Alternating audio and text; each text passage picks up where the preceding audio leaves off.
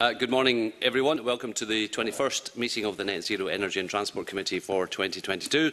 Today we have apologies from Mark Ruskell, MSP. At agenda item 1, we have consideration of whether to take items 3 and 4 in private. Item 3 is consideration of evidence we will hear today. And item 4 is consideration of the draft report on our energy price rise inquiry. Do we agree to take these items in private? That is agreed. Thank you very much. Items 3 and 4 will be taken in private.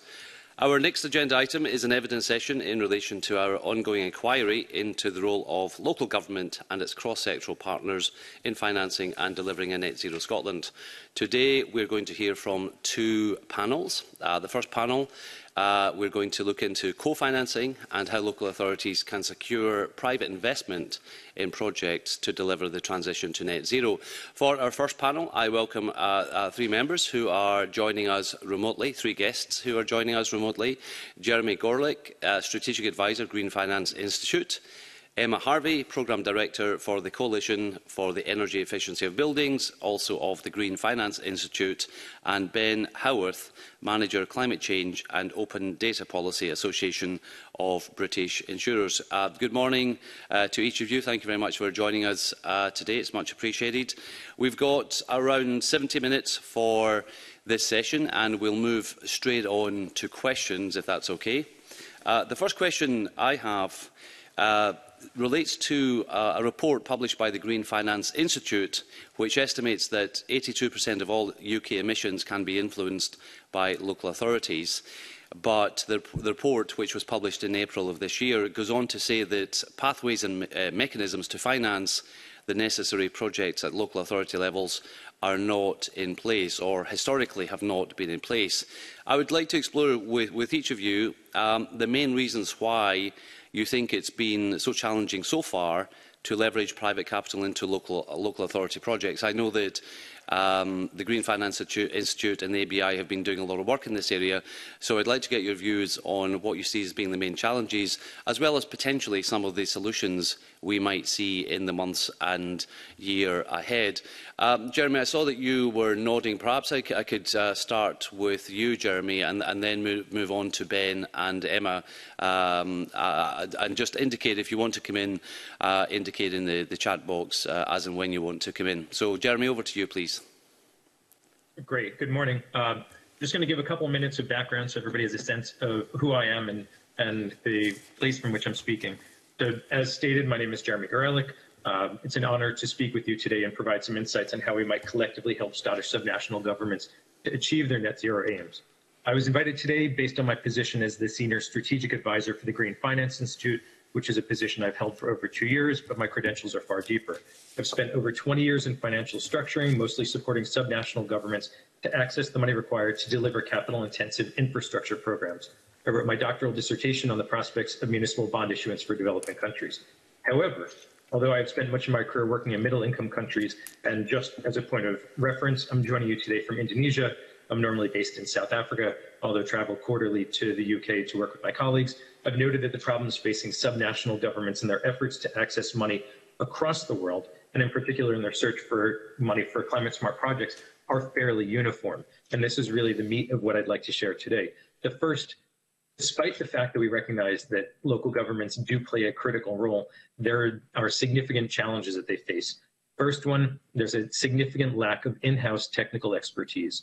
Second, a lack of in-house financial expertise, and third, a lack of familiarity with the appropriate tools to access capital for long-term, long repayment projects. So my first point today really addresses this challenge on the demand side for money in the financial ecosystem in the relationship between subnational governments, who we would call seekers of capital, and financial institutions, so the sources of capital. Over the past five years, working in collaboration with entities like C40, the Rockefeller Foundation, and most recently in a collaboration between Innovate UK and the GFI, I've had the chance to confirm these obstacles firsthand, working directly with a number of local authorities and for your benefit, one of them being the largest and arguably one of the most climate ambitious cities in Scotland. To be as comprehensive as possible, my team engaged Arup as the engineering consultant to perform a deep dive analysis of the entirety of that city's climate smart portfolio, and we identified 11 projects that had progressed beyond a conceptual phase.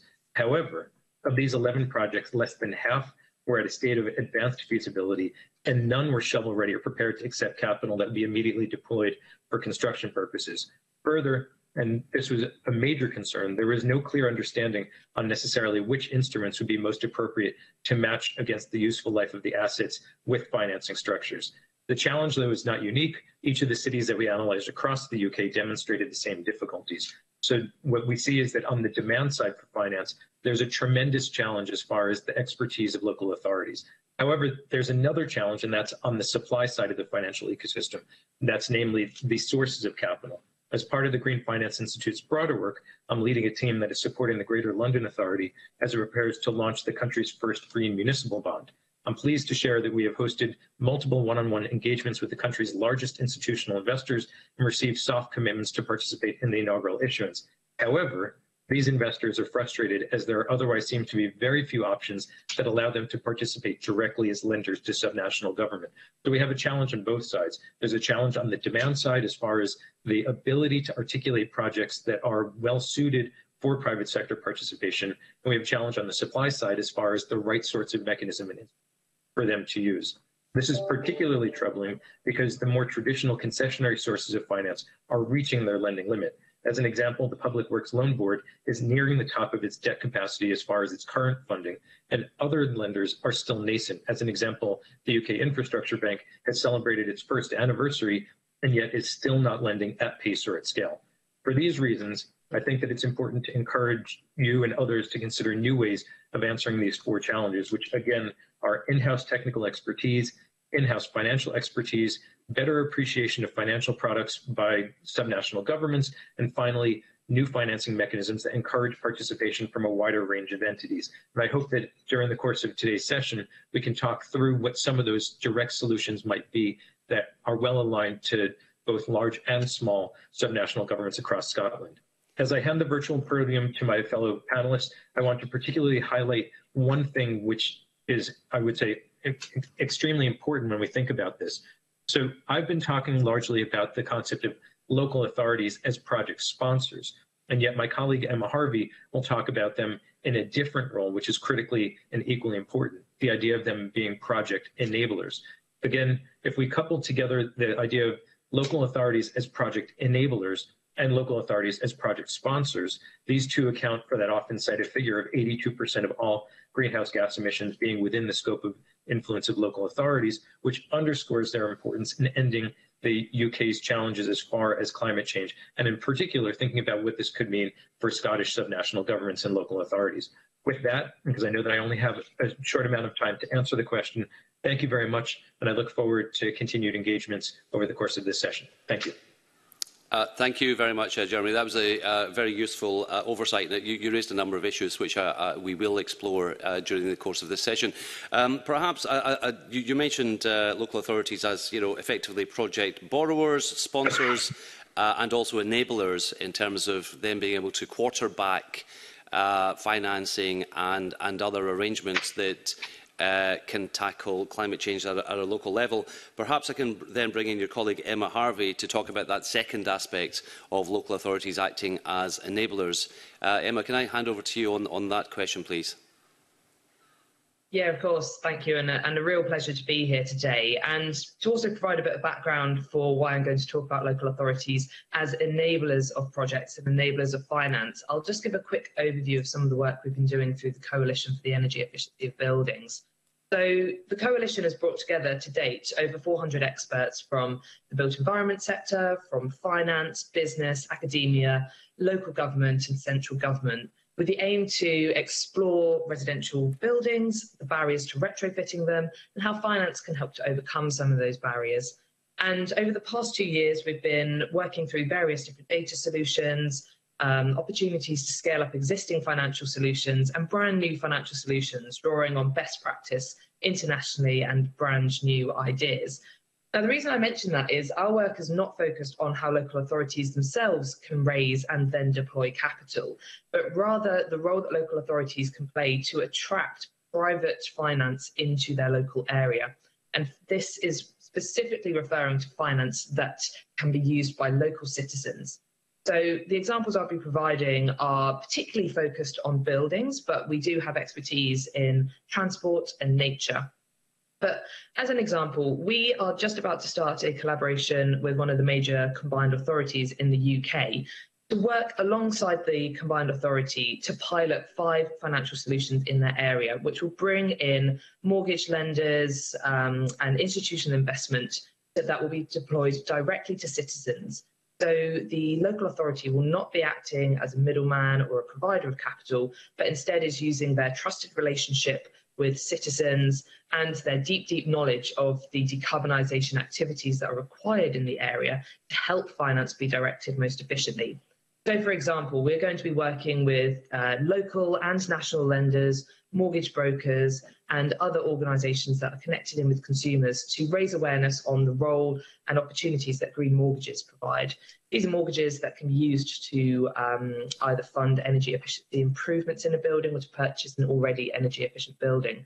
But the major barrier to this market scaling at the moment is the lack of consumer awareness that these products exist now a local authority backed campaign to raise awareness on these financial solutions can not only support citizens in being able to access this finance, but will also help create a really thriving market in the UK, where the UK is one of the leaders in green mortgages. Another example I'll point to is something that we like to call property linked finance, or in the United States, it's known as PACE finance, property assessed clean energy finance. This finance is linked to a property rather than the property owner, so it helps to overcome the payback period barrier that many homeowners experience when they're retrofitting their property. Now, the way that we think that this can be introduced um, in the UK is through local land charges, and local authorities are some of the designated authority bodies for bringing into effect local land charges. So, if we were looking to bring in a property linked finance scheme um, into the UK, local authorities would play a critical role in bringing in the enabling local land charges that can then link financing to a property. But they themselves would not have to be involved in capitalising that scheme. That would be achieved by institutional investors and administered by third party bodies. So these are just a few examples of how local authorities don't just have to raise and deploy capital, but there's in fact a huge swathe of citizens, companies and businesses underneath the jurisdiction or underneath within the geographical region of a local authority who can be helped by the local authority bringing in private finance. Um, I'm sure we can dive into some of this in much more depth as we go forward, but I'll, um, I'll, I'll stop my comments for there for now. Thank you uh, very much, Emma. That, that was uh, a, a great introduction, uh, and you're absolutely right. We, we, we want to explore some of these issues.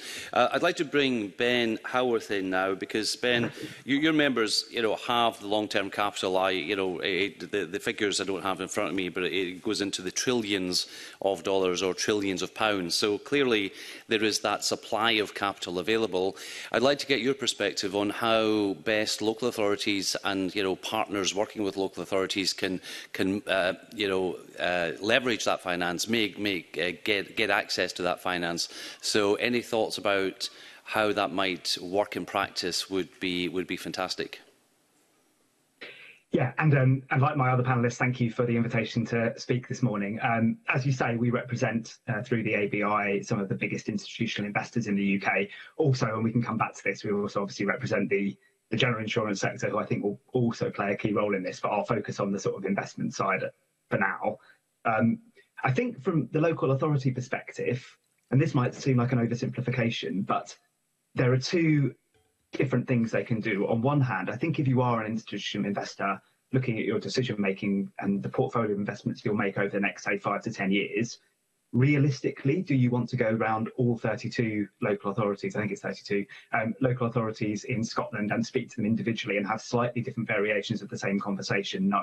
So I think if you're looking at the uh, technical financial instruments that, um, that my previous panelist was was talking about, the more consistency you can have there, the better. And that's not just for the individual investors to aid their decision making, but also for many of these, particularly the investments ABI members make, they will require regulatory approval. So the more consistency you can get in the structures that underpin this, I think the better. I'd flag particularly for our membership because they are investing people's pension assets, they are at the lower end of the risk scale. So they're not looking for high risk, short return investments. What they're really looking for are long tail investments that deliver a steady and predictable return. Um, so one of the things I think the local authorities can really do to help our members is to think strategically about the range of different investment opportunities that are available and think about the different kinds of investors that will be attracted to them. Our members will have some appetite for some of the bigger infrastructure projects and schemes where they've got a clear long-term business case, but they've also got an appetite in some of the supporting and connecting infrastructure. So an example I might give is electric vehicle charge points, potentially a really attractive investment opportunity for our members. So it's not just about big schemes and big projects, it's also about all the stuff that underpins this. Um, and obviously, I'd say that's where the local authorities really kick in. So my point, I suppose, really is local authorities, I think the more consistency in the technical financial instruments, the better. And then where individual local authorities can add value is by understanding their local areas and really working to make a case for those specific investments. So I think if local authorities can work together on the structures, that will help. And then obviously they can each individually bring in the needs and priorities for their own local area. One final point from me, um, and there's plenty of other things I could come back to, but um, an initiative that's going on at the moment is the government is consulting on transition plans. So a lot of, um, well, all ABI members will be required to produce a transition plan looking ahead at their next um, five to 10 years. The more individual local authorities can do to collaborate with that initiative, I think the better. So if they could produce their own transition plans and set out really clearly where they are likely to build in a particular technology into their local plan or going to look for investment in a particular area, uh, that can give people some advanced insights so they can sort of manage this and understand where the opportunities are likely to rise in the next few years, and also to be transparent about the things that they don't know to build that collaboration. Um, so I think yeah, there's plenty of things we could come back to, but I would say it's that it's that collaboration on the financial instruments and then a really clear transition plan so investors can start to plan ahead.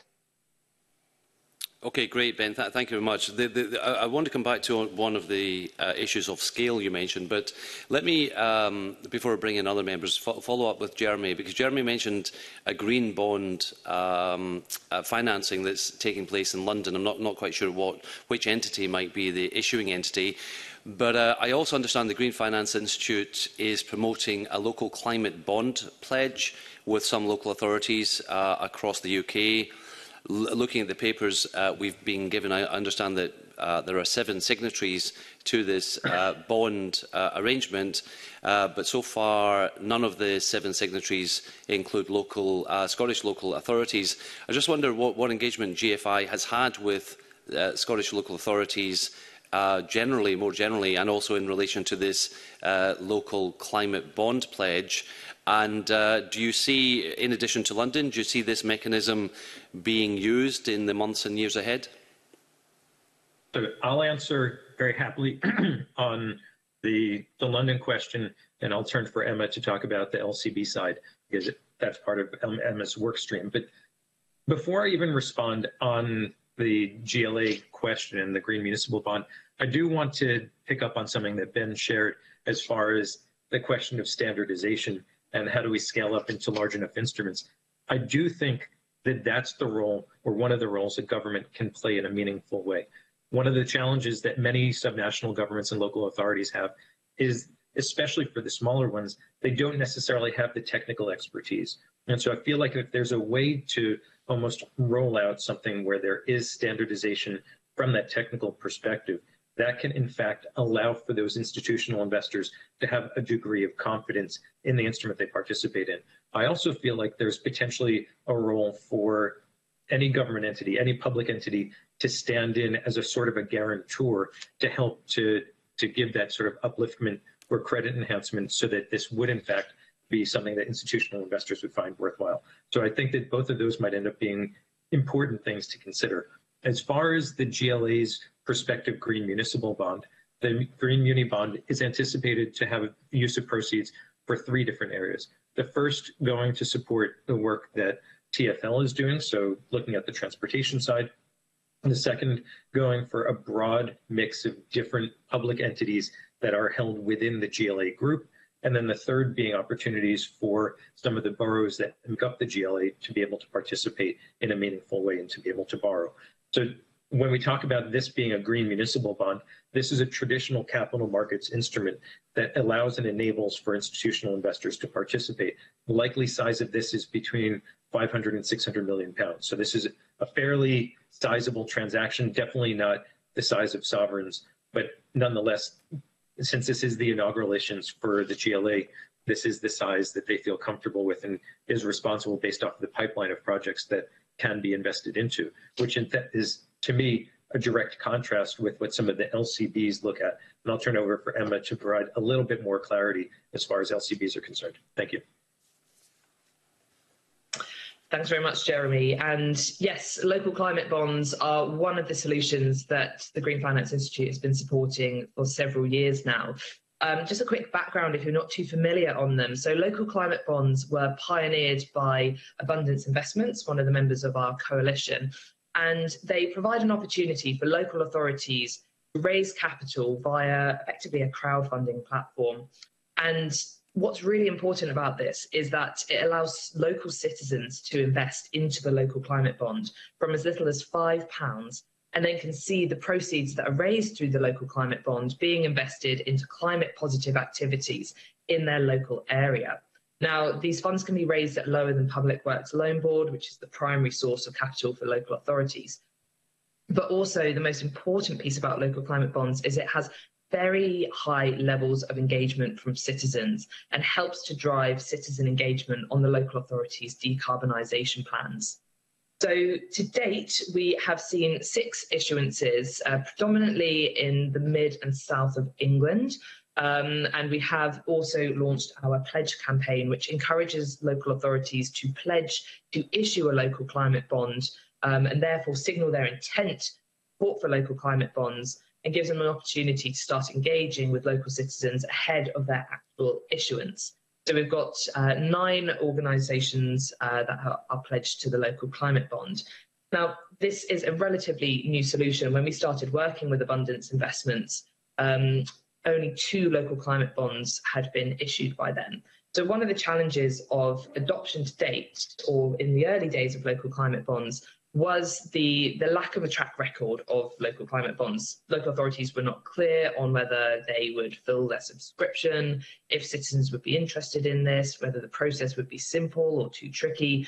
But now that we've had six issuances, we've seen them be very successful, become subscribed very quickly, and also, as I say, that, that those high levels of citizen engagement on the decarbonisation agenda. And there's actually a, a, few brilliant examples of where citizens have actually foregone their annual interest payments for the, their interest to be reinvested back into further environmentally positive activities such as rewilding within the local area. The other area challenge, though, is, is just in terms of engagement and being able to get past the relevant uh, approvals internally for, for organisations to either pledge or issue a local climate bond. So I think we would welcome further engagement with uh, councils in Scotland to be able to introduce them to the concept of local climate bonds um, and to then have further conversations or to connect them in with Abundance Investments, who manages the, the, local climate bond platform. So I think this is a nascent market, it's getting a lot of traction, it's an attractive piece of the capital stack for local authorities but we just need to continue banging the drum and having that in, that deep and meaningful engagement with local authorities to help them get more comfortable with this solution. Okay, Thank you very much, Emma. Just a couple of very brief supplementals, just to clarify the size and scale of, these bonds. Well, what's the sort of average size of, of the LCBs issued? And, and are these effectively almost like a kind of shadow municipal bond market, like you would see in the US, albeit at a different scale, uh, presumably a smaller scale? And are these uh, listed capital market instruments? Are they freely tradable, or are they kind of less less like liquid compared to what you would typically see with the, the GLA type of uh, bond issue? Really good questions. Um, so typical size we've seen to date, the first few were about a million pounds. We've seen a couple that are half a million, but with um, ambitions in continue issuing. There is obviously a, a ceiling you can hit uh, in terms of local citizens who are able to invest into um, into a local climate bond in terms of how they actually uh, operate, they are not a bond in the traditional sense. They are a crowdfunding uh, instrument. So um, I believe there is the opportunity for um, for investors to be able to sort of trade their investment back into the Abundance platform. Um, but it will operate not like a shadow market, but actually as an entirely separate entity, entirely separate asset class as well. We'd be happy to share further details on those questions um, with the with your committee members um, at a later date. Okay, that's great. Well, thank you very much. I, I've taken up uh, more than my share of time, so let me bring in other members. Um, I'll start with uh, Fiona Hislop, and uh, I'll, I'll hand over to Fiona. Thank you very much. And is my mic on? Yeah, and for joining us uh, this morning. Uh, can I first come to Jeremy Gorlick? One of the challenges seems to be that the amount of due diligence um, and financial readiness that's required for investment of 1 million um, is the same kind of effort that is needed for a package of 100 million. And therefore, there seems to be a gap between the propositions at local level and you know, the desirability for investors. Um, and one of the, the jobs potentially of, of government is helped to help facilitate that. The uh, First Minister in Scotland is going to be proposed, uh, chairing a proposed investor group, which is marshalling the investors. Uh, we also in Scotland, and I'll declare an interest because I, I launched it in 2020, have a green investment portfolio worth currently £1 billion of 10 projects um, um, promised to increase now to 3 billion. And these are the investable propositions. And you talked earlier on about the gap being um, some of the projects are just at concept stage or feasibility stage. And what you need to do is get some kind of agreed mechanism that there's almost like an authority to invest and understanding because they've hit certain benchmarks, etc., to make them investable. Do you see that the role of, of, of national government, Scotland obviously a, a country of 5 million um, and a, a devolved administration, that they could get help get the local authorities to that stage of investability? So great question. Thank you for it. Absolutely. To me, one of the most important roles that government should be playing is to help those projects to get beyond preliminary concept, beyond even feasibility, to full detailed engineering design and to full financial sustainability. Uh, if we look at some of the US examples, there are some very clear examples of that, in fact, being the case. You take, for example, the Connecticut Green Bank the Connecticut Green Bank in the US has been able to mobilize billions of dollars because of the fact that it has played that role of supporting getting projects to a level of financial readiness and the ability to be effectively shovel ready. One of the biggest challenges, and for those of you who are financiers on the panel, if you are a borrower, you don't want to take on money that you can't immediately deploy because there is a carry cost from the second that you draw that money down. So one of the things that we need to be sure of is that when projects have the ability to receive money, they can immediately start to build with that money or do whatever is required to generate the revenue so they can service the debt and pay back their sources of capital. One of the big challenges, though, and so this is my caution or caveat, when we look at aggregating, so it's terrific to hear that there's a billion pounds of projects, upwards of 3 billion. The problem is that oftentimes those projects are not all simultaneously ready to deploy money or to have the funds come back as far as user fees or whatever else is the source of repayment. So my big concern is that despite the fact that often it's great to be able to say we are coming to market with this large package issuance, sometimes the laggards end up piggybacking and getting a free ride off of those that are earlier stage and already generating revenue. So it's an important balance to strike to make that work.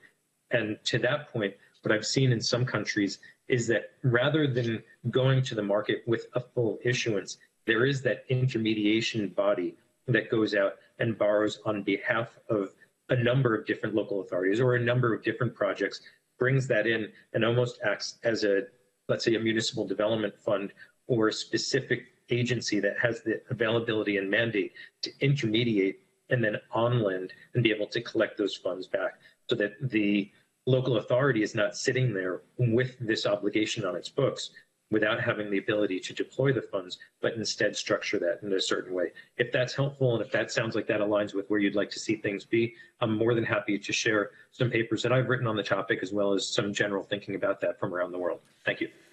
That would be very helpful, although we're constrained in terms of the amount of borrowing that the Scottish Government can do, but there might be possibilities with, if we're creative about uh, how we look at things with local authorities.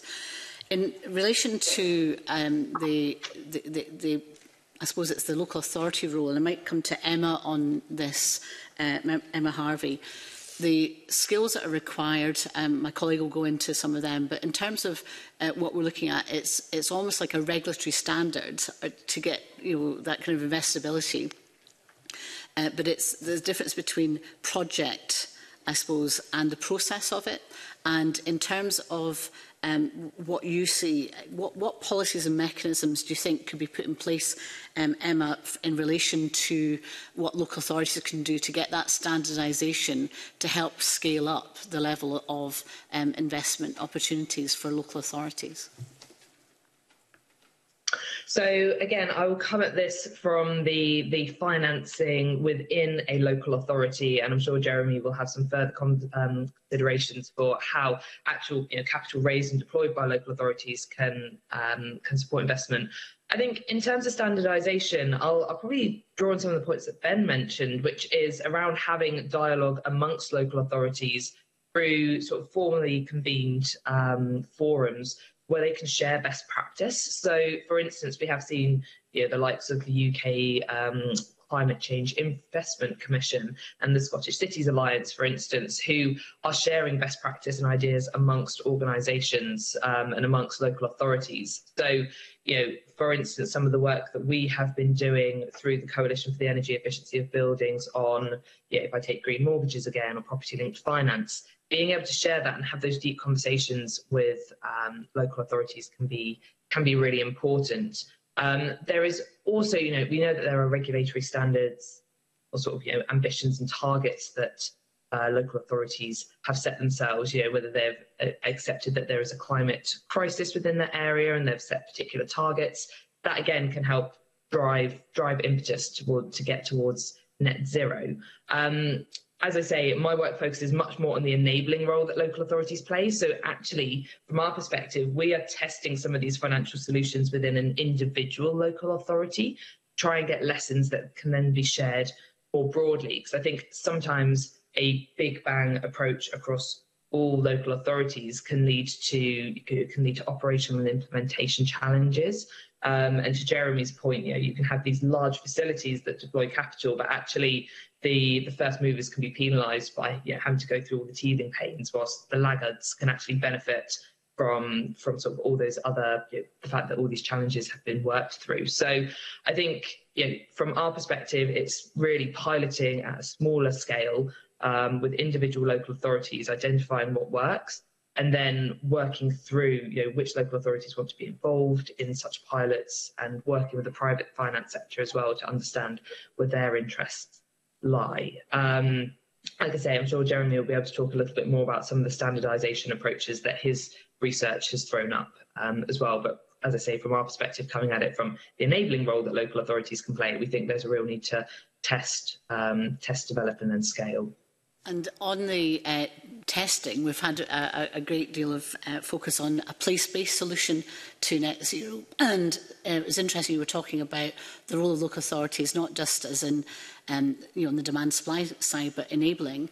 And for the private sector, home ownership, for example, and green mortgages, um, local authorities may not see that they have a key role in helping promote that in a place-based street-by-street, for example, process. Is that something you mean when you talk about local authorities enabling and, and, and leading in, in the information sharing? Absolutely. So we've you know, anecdotally heard that when retrofitting schemes, for instance, or financing schemes have a local authority badge on them, um, sort of endorsement badge, the, scheme providers have up to five times more uh, engagement from citizens in, in those schemes. An example I'll give from the UK is something called Solar Together, which is a demand aggregation scheme. So uh, citizens within a particular region will be able to take part in a scheme where they can sign up to have solar panels put on their roof, and when a certain number of uh, households are signed up, let's say it's 100 or 200 have signed up for the scheme, the scheme administrator can then go out and bulk purchase the technology, bring in economies of scale, mass install these technologies with all the appropriate guarantees. We see this being very successful to date. And part of the success of that has been that it has been sponsored by local authorities. They have given it the seal of approval. So it does help to, to sort of bridge that discussion between private finance or private uh, decarbonisation schemes and citizens if you do have a local authority's endorsement and sort of effectively quality tick on that. So, so yes, I think it's local authorities' involvement in sort of easing the transition of these quite exciting solutions into sort of the public psyche. Thank you. And I think the committee is looking forward to visiting Linlithgow, my hometown, that did a community bond on solar panels, um, but it was very, very small scale. Um, I can move on to Ben Howarth now. O obviously, investors are looking at um, rewards, and I suppose it's the mechanisms and the financial packages and products that would be helpful um, to, to, to bridge that gap between, obviously, uh, a clear demand uh, for net zero investment, but also the supply of that investment. And you also talked about standardisation that gives, I suppose, some comfort to investors. So what would they be exactly looking for in terms of, you know, you talked about low-level, um, you know, long-term uh, rewards uh, and, and returns to, to your investors. W what kind of shape does that look like, and what, what, what policies and mechanisms need to be put in place at local authority level or indeed at Scottish Government level to enable um, those products to be developed or are the ones that are already there you'd like to, to use for investment? And then I'll come back to you. Um, yeah, I think the examples that um, my previous panelists on the specific mechanisms and bonds are the sort of things ABI members are looking for, particularly green municipal bonds. Um, I would say that one of the biggest policy things I think policymakers can do right now is to think about, you mentioned regulation, but I think not just the regulation of the people providing the technology, but also the regulation that the investors face from the Bank of England and the FCA. And I think one of the challenges that members face when investing in infrastructure is that it can take a long time to have a new asset class approved. Now, some of that onus is on ABI members to actually demonstrate that they understand the asset class and they've properly thought about it within their mix of investments.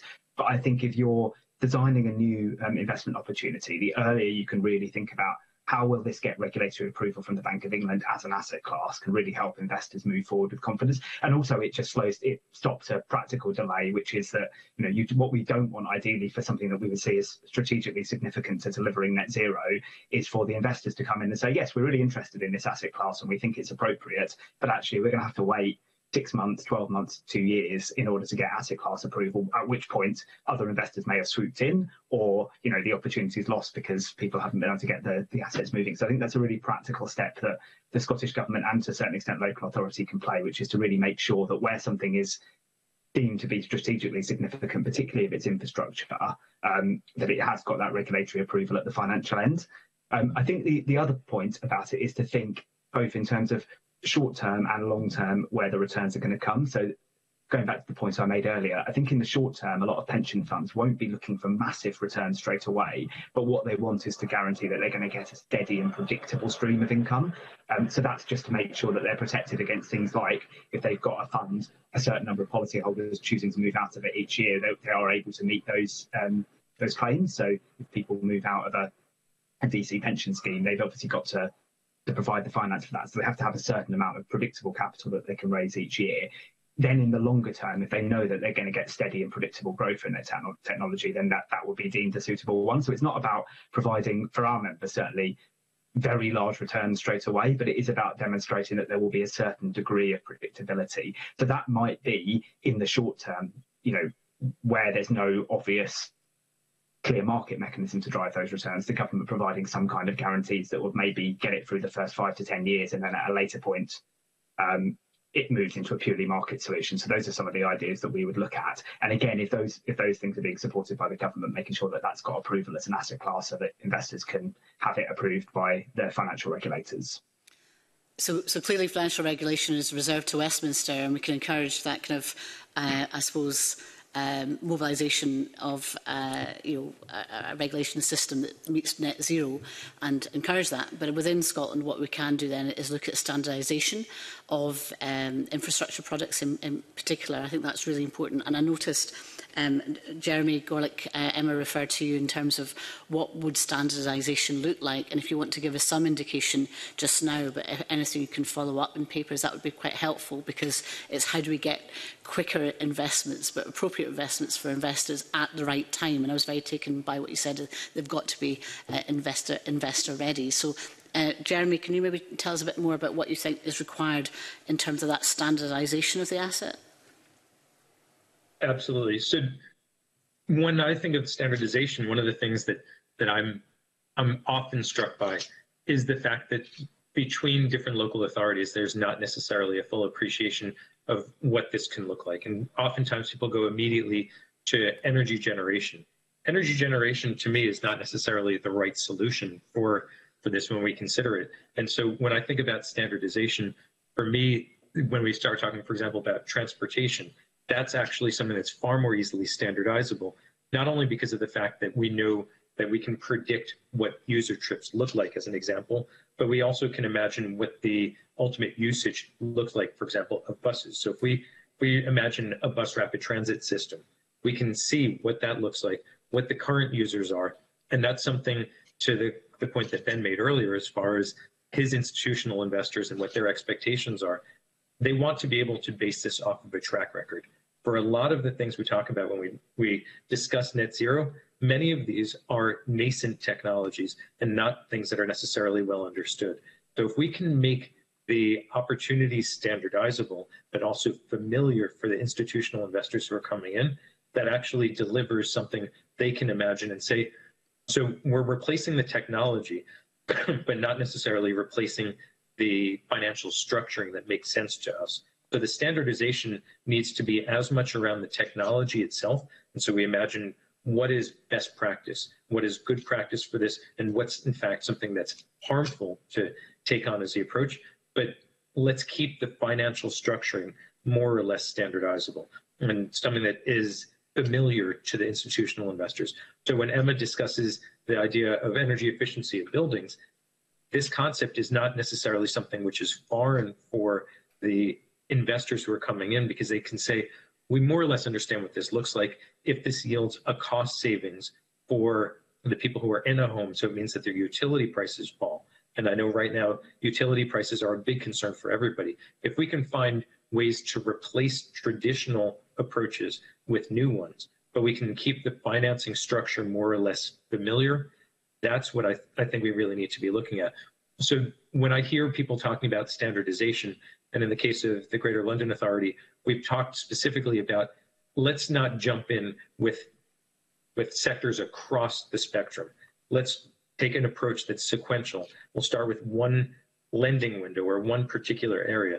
So we'll talk, for example, about energy efficiency of buildings, or we'll talk about district heating. We'll talk about nature-based solutions. We'll talk about circular economy, but each of those, rather than throwing it wide and making institutional investors get skittish because they say, we don't know where our money is going, let's be really measured about that approach. Let's look at long-term investment that matches the useful life of assets. Let's try to imagine that the revenue that comes in off of that is in fact well aligned with investor expectations, but also what people can afford to do.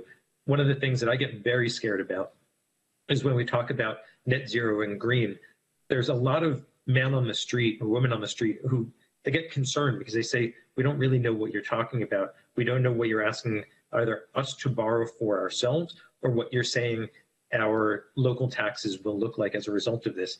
We need to make this accessible. We need to make this something which is financially a smooth approach. So it's not as though there's going to be a huge jump at any one time, which means that we need to be looking at institutional investors for that long-term money. And we need to make sure that this is, again, a standardized approach so that the small local authorities can jump on.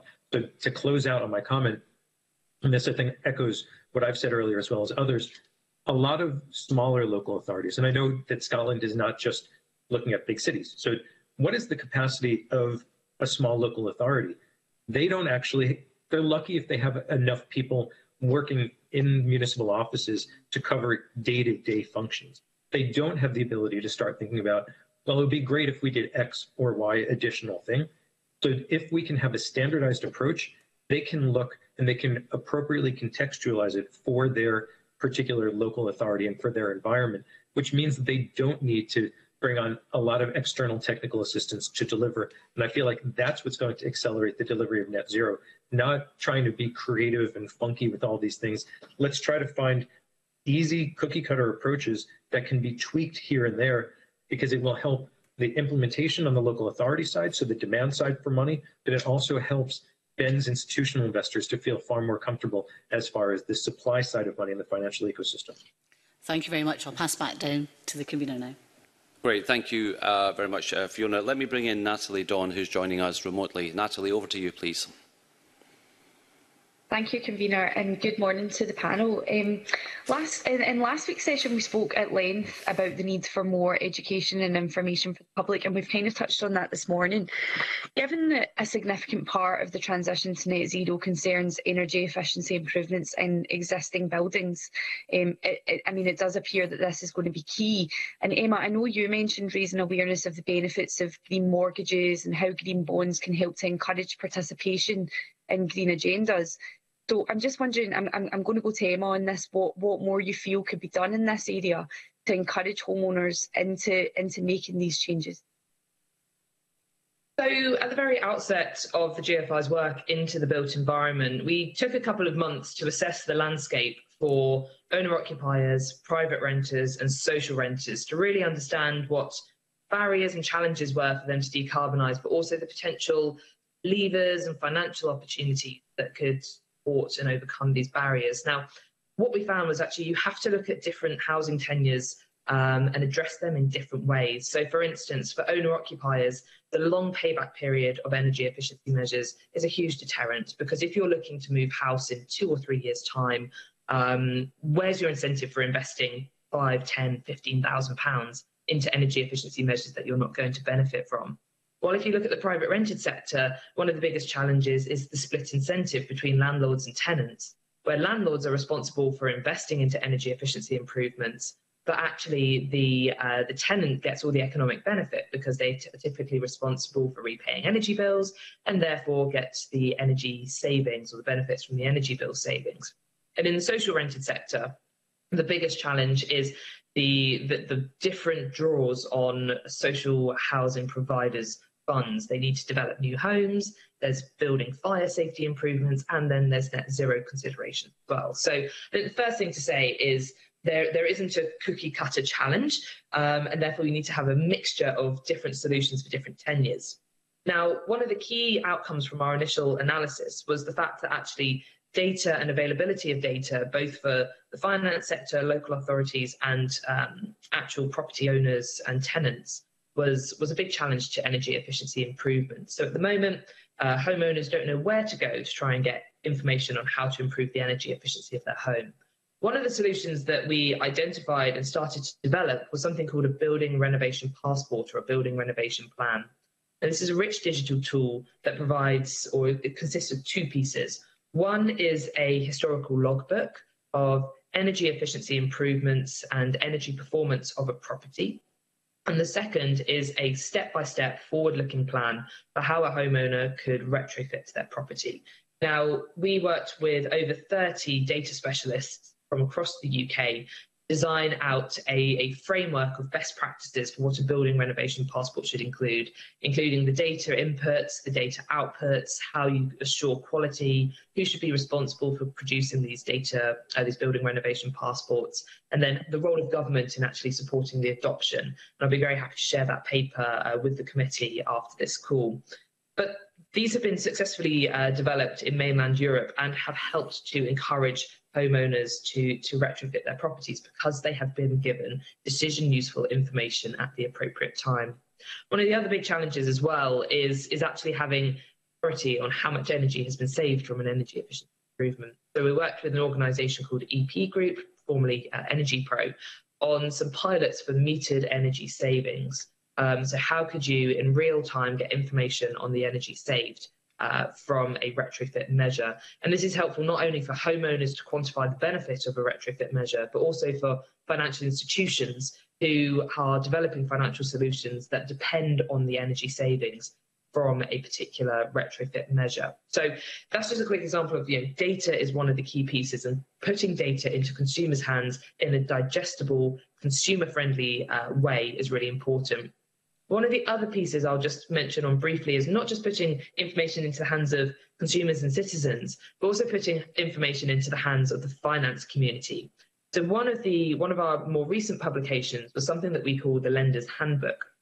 which was an easy to use guide for financial professionals to understand different retrofit technologies that are available, how much they cost, average energy savings, um, investment useful information and potential risks associated with these technologies, as well as some further information on uh, you know, policy trajectory across the UK, quality assurance, and uh, reputable um, trade bodies and uh, installers. Now, we've had overwhelmingly positive feedback on the lender's handbook, in particular from the mortgage industry, who say they use it very frequently to help them in developing and designing new financial solutions, whether they be green mortgages or green loans, etc., etc. But what we found was actually with um, you know day-to-day interaction of consumers with the finance sector is actually primarily through, uh, if we're talking mortgages here in particular, is through brokers and financial advisors and mortgage brokers. So what we are currently doing in collaboration with UK Finance, the Building Societies Association, Equity Release Council, and the um, Association of Mortgage Intermediaries is exploring how we can develop our lenders handbook for other professional audiences. So initially starting with mortgage brokers, but potentially expanding that to estate agents who obviously have very strong contact points with consumers and to conveyancers and beyond. So I think there is a need not just for putting information into the hands of consumers and, as Jeremy was saying, into the hands of local authorities, but actually upskilling the finance community as well on some of the net zero risks. And importantly, because you know, financial organisations are profit driven, the opportunities of the net zero transition. Thanks very much. There was a lot in there, but but that's really really helpful. Um, and so again, just in terms of kind of focusing around current homeowners uh, or um, that that sort of group, in terms of private capital, again, sorry, sorry, Emma, I'm kind of directing this to you just based on your earlier answers. Um, in terms of private capital, what sources are there available to help fund this? So I know you've spoken about the role that um, local authorities can play to attract finance into the into individual areas. Um, perhaps you could expand on that a little bit more um, and uh, sort of advise if you feel that there are any other opportunities to attract capital. Um, and again, I'll go to Emma first and happy to bring other members of, of the panel in following that. Yeah, so you know, capital will be attracted to where there is demand for you know demand for projects. And I will again, I will speak to energy efficiency of buildings here, but very happy to provide some examples from transport and nature um, through through written documents later. Um, at the moment, demand for retrofitting is highly fragmented, and so you know lenders are struggling to uh, lenders or institutional investors are struggling to find the critical amount of demand that merits and warrants them to develop and design new financial products or to put significant resource and um, you know, effort behind providing capital to these areas. Now, one of the solutions I mentioned earlier, which we're starting to pilot um, with one of the major combined authorities is demand aggregators. So how can you aggregate demand for particular retrofit technologies where you then have a homogenous portfolio of technologies that could attract in either an institutional investor to fund it, um, it could be funded through the local climate bonds that we mentioned earlier, or you can partner up with one, two, or several um, financial institutions who would be wanting to provide retail finance to homeowners looking to retrofit their property. So being able to aggregate demand both within a region but on a homogenous technology can be very important. And this comes back to Jeremy's point earlier around having those investment windows that look at particular typologies or particular technologies um, that can be quite important for attracting in investment.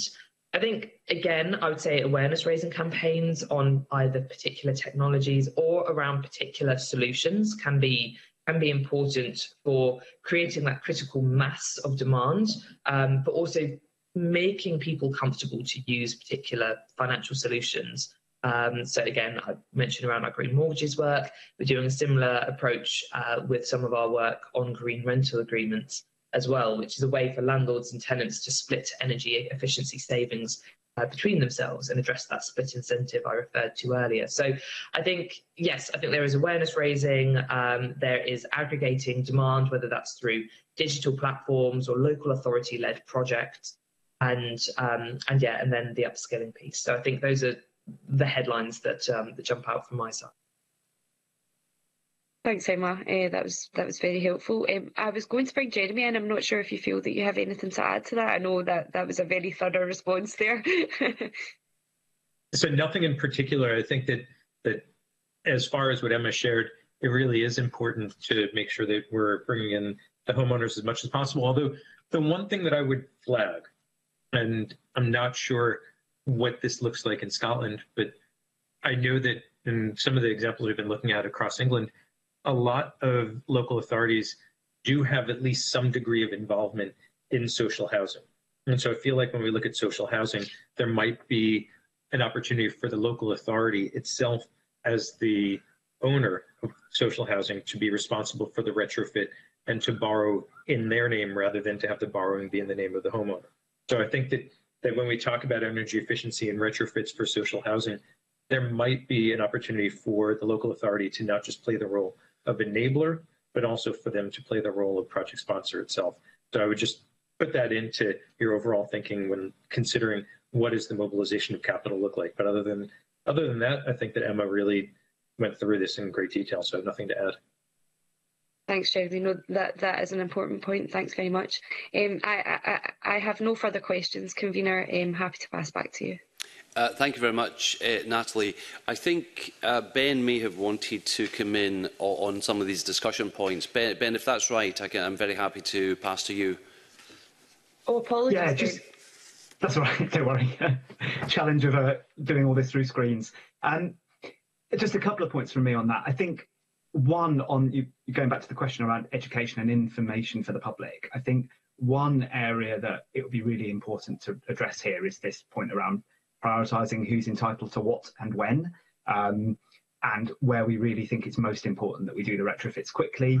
Um, the reason I say that is in particular, I think an opportunity to educate and inform the public and make some progress is when people make an insurance claim under property insurance. So that might may well occur when someone who wasn't previously considering having any work done in their homes and wouldn't want the disruption suddenly finds that they've had a major leak and they're having lots of repairers come into their homes. I think in the next few years, that's an opportunity to really promote um, the wider energy efficiency solution. So there may be some challenges to that. So someone may not be entitled to the full cost of that work under their insurance policy. But what you could do is bring the people together and say, well, you can have this work, but you're also entitled to claim maybe this government support or there's another financial product that you can utilize to get a loan to do all this work. And I think the advantage is then you can have all the work done at once. So I just make that simple point about um, utilizing that potential opportunity that comes when someone makes an insurance claim, which is you know an unexpected event. Um, the other point I just wanted to, to, quickly make is there's a lot of parallels between the energy efficiency agenda and flood resilience and adaptation and resilience to climate change. And I think it's really important to look at this agenda in the round um, so in the insurance sector, we've we've recently launched Flood Re's Build Back Better campaign for flooding, um, and that's essentially if you look at the way that that would be financed and structured, a lot of the challenges are the same. It's really about persuading people to to think a bit differently about how their home is rebuilt after an event. Um, and I think actually, if we can align the sort of energy efficiency agenda a bit more with the resilience and adaptation agenda, I think that will make it more effective. Sorry, one final point as well is around skills. And I think from ABI members who invest significantly in property, one of the things they're concerned about is that the pace of this work happening very, very quickly. And actually, you know, it might be a small minority, but if a number of these retrofits go wrong um, and cause more damage to people's homes, and that's a huge amount of uh, risk exposure that the insurance sector would face. So I think we'd welcome from local authorities, and it was mentioned earlier about them using their credibility and credentials to demonstrate who is a reliable supplier. I think that's really, really important that we don't allow um, allow this to be an unmanaged and rushed process, but we actually make sure people have got really good skills to do all this work. Some of it's very complicated so that we don't face problems down the line where actually a lot of this technology goes wrong and it causes um, huge risk uh, and more insurance claims in the future.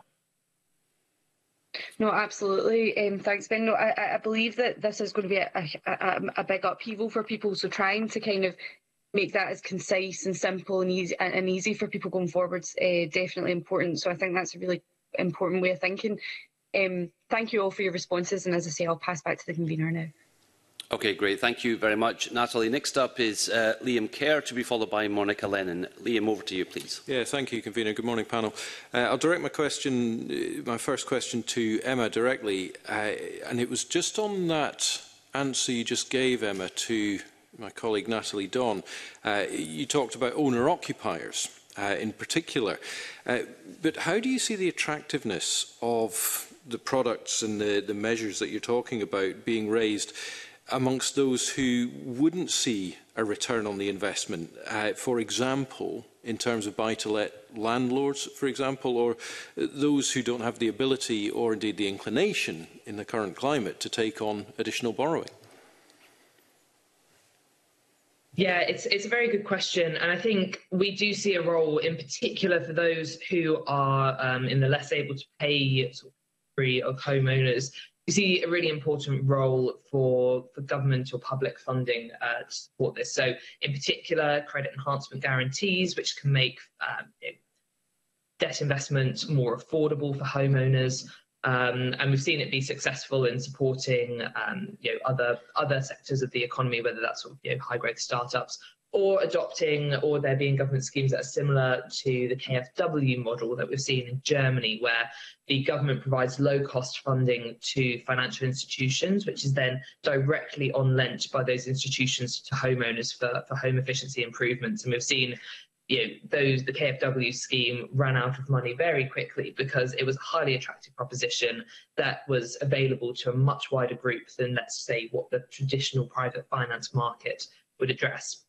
And also just bring in a few um, a few statistics from some consumer research that we commissioned um, in the past year, exploring uh, consumer attitudes towards energy efficiency and financing for energy efficiency. So when we tested, um, it was a sample of 1,800 households representative of England, Scotland, and Wales.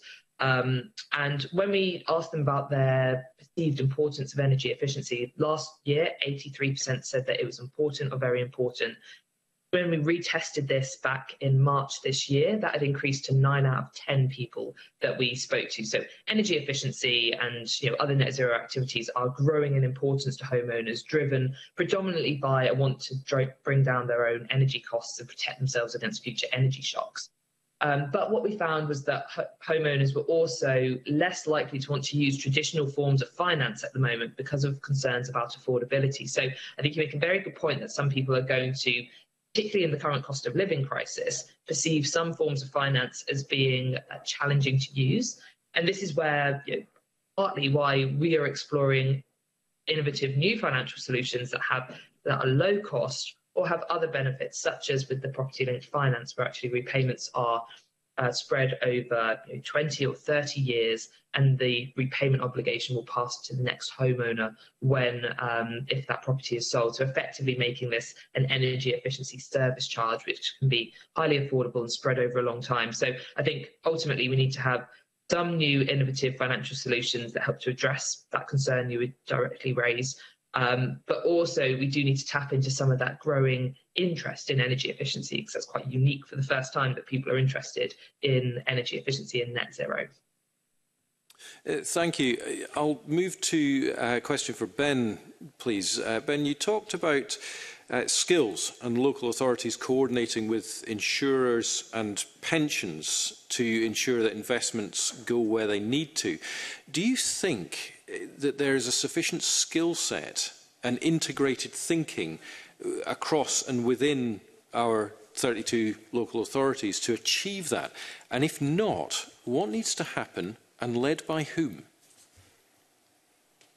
Yeah, it's a really good question. I think skills are developing. Um, and I wonder whether it's not so much about actually the technical skills of an individual person, but it's about the accreditation and being able to assure that they have the required skills and that this is a fast moving um, event. I would look at the example of electric vehicle rollout as just one example of this. So clearly, we have a well advanced um, repair and maintenance sector in the UK and in, Scotland. Um, it's well established, but we're about to see a major change. So the, the targets to switch to electric vehicles are quite ambitious in their pace, rightly so. Um, but actually, we need to know that repairing an electric vehicle is significantly different to repairing a conventional car there's no reason why we can't get to the point where our um, engineers can do that work. I think they, they adequately can, but I think we need to train people very quickly and also give people who are commissioning them the confidence that they have had that training. So we need an appropriate way to verify that someone is genuinely an expert on an electric vehicle because there are differences. There are things that can go wrong when you take a battery out of a car that would never apply with a combustion engine vehicle.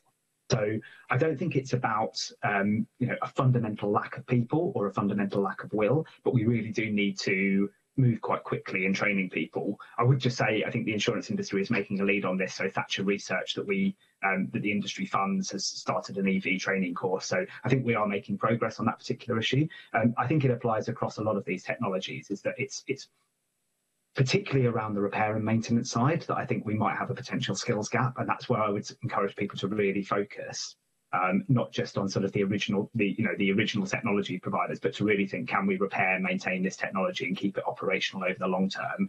And also that protects you against a long-term risk, which is that those things start to go wrong. Um, so I'm afraid I, I, I, probably don't have a simple policy solution for you to suggest. I think it is just a sustained effort.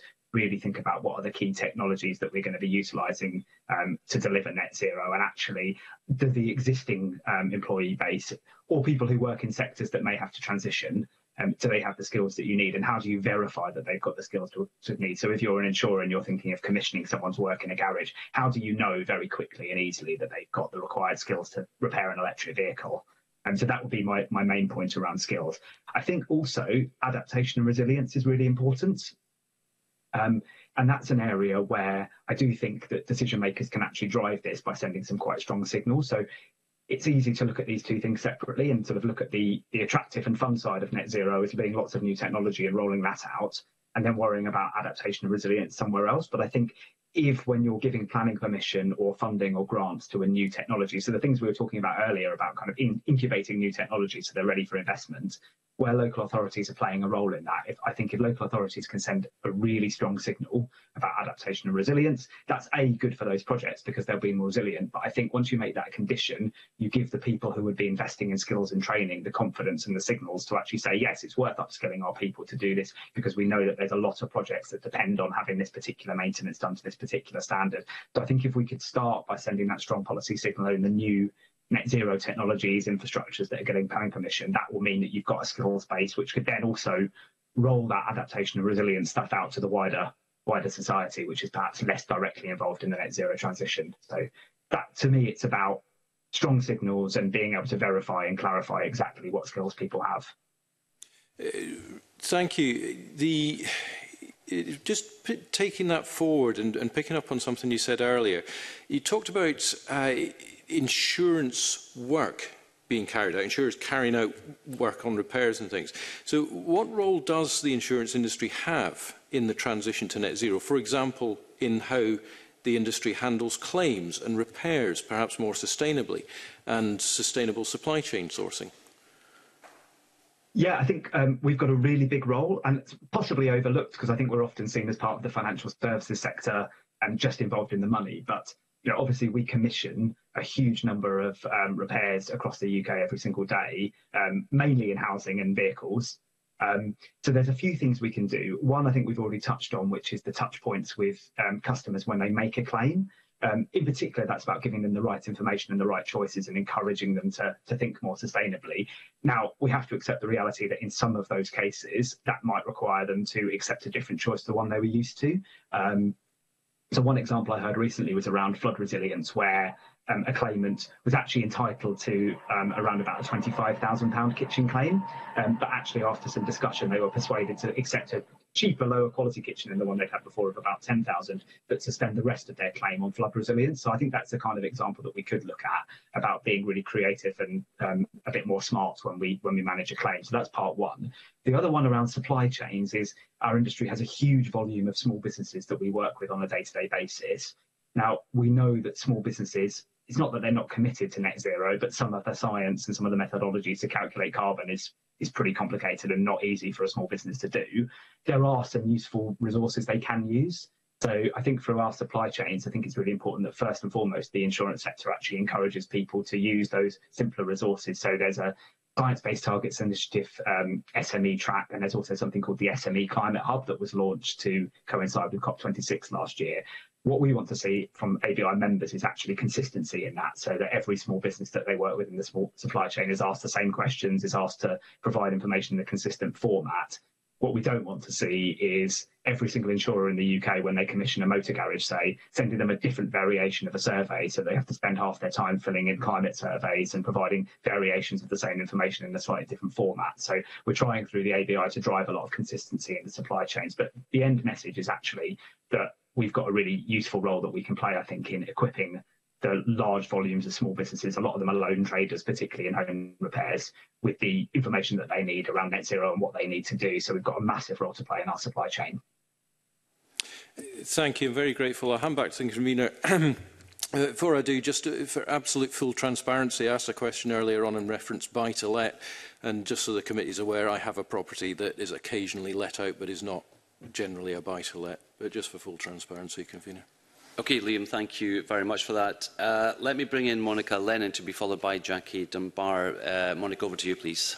Thank you, Convener, and good morning, panel. This has been really interesting and really useful for the committee so far. Um, thinking about the role of local authorities as project borrowers, sponsors and enablers. Um, it's clear that having the right financial skills and the right people is, is, is very, very important. But during the inquiry, we've, we've heard a lot about the, the challenges around skills generally, but in particular, um, a lack of financial skills. Um, I'll come to, to each of you in turn and perhaps Jeremy can maybe give a, an international perspective, but can you give some examples of, of really good practice where you've found it Um, are you seeing any examples of um, people being seconded into local authorities, whether that's from the private sector or other parts of, of the public sector? And we've not had a chance to talk about the Scottish National Investment Bank today in any great detail, but do you see uh, opportunities in terms of um, what role that the bank could play in, in supporting local authorities with important work they have to do. Um, perhaps I'll come to Emma first and then I can come to Ben and then Jeremy.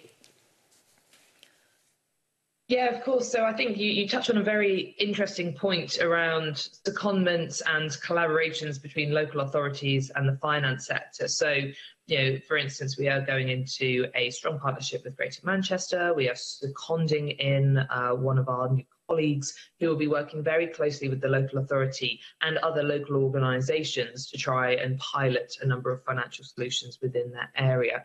So I think that's very important to have that close collaboration. We've also seen this collaboration through the Scottish Government's uh, Green Heat Finance Task Force, which is again convening a number of financial uh, trade bodies and organisations themselves to work with policymakers on potential pilots as well. So I think there is a real need to have that, that very close collaboration with joint objectives that are aligned and that are the same. So I think that is one way of doing education. We know as well that there are a number of different education standards out there. The, the Green Finance Institute ourselves launched the Green Finance Education Charter, which encouraged professional bodies to, to educate uh, people within their professions so again, I think there's a mixture of um, collaborative projects and then professional training that can help to upskill uh, the finance sector and then provide that um, education and training through to local authorities as well. Thank you, Emma. Ben? Emma's come to the specifics around financial skills and literacy really well. I think specifically to net zero, one of the points I'd make is I don't think ABI members are expecting um, local authority personnel to understand all of their nuances in, in massive levels of detail. I think what they are encouraging is they are genuinely really willing to sit down and engage.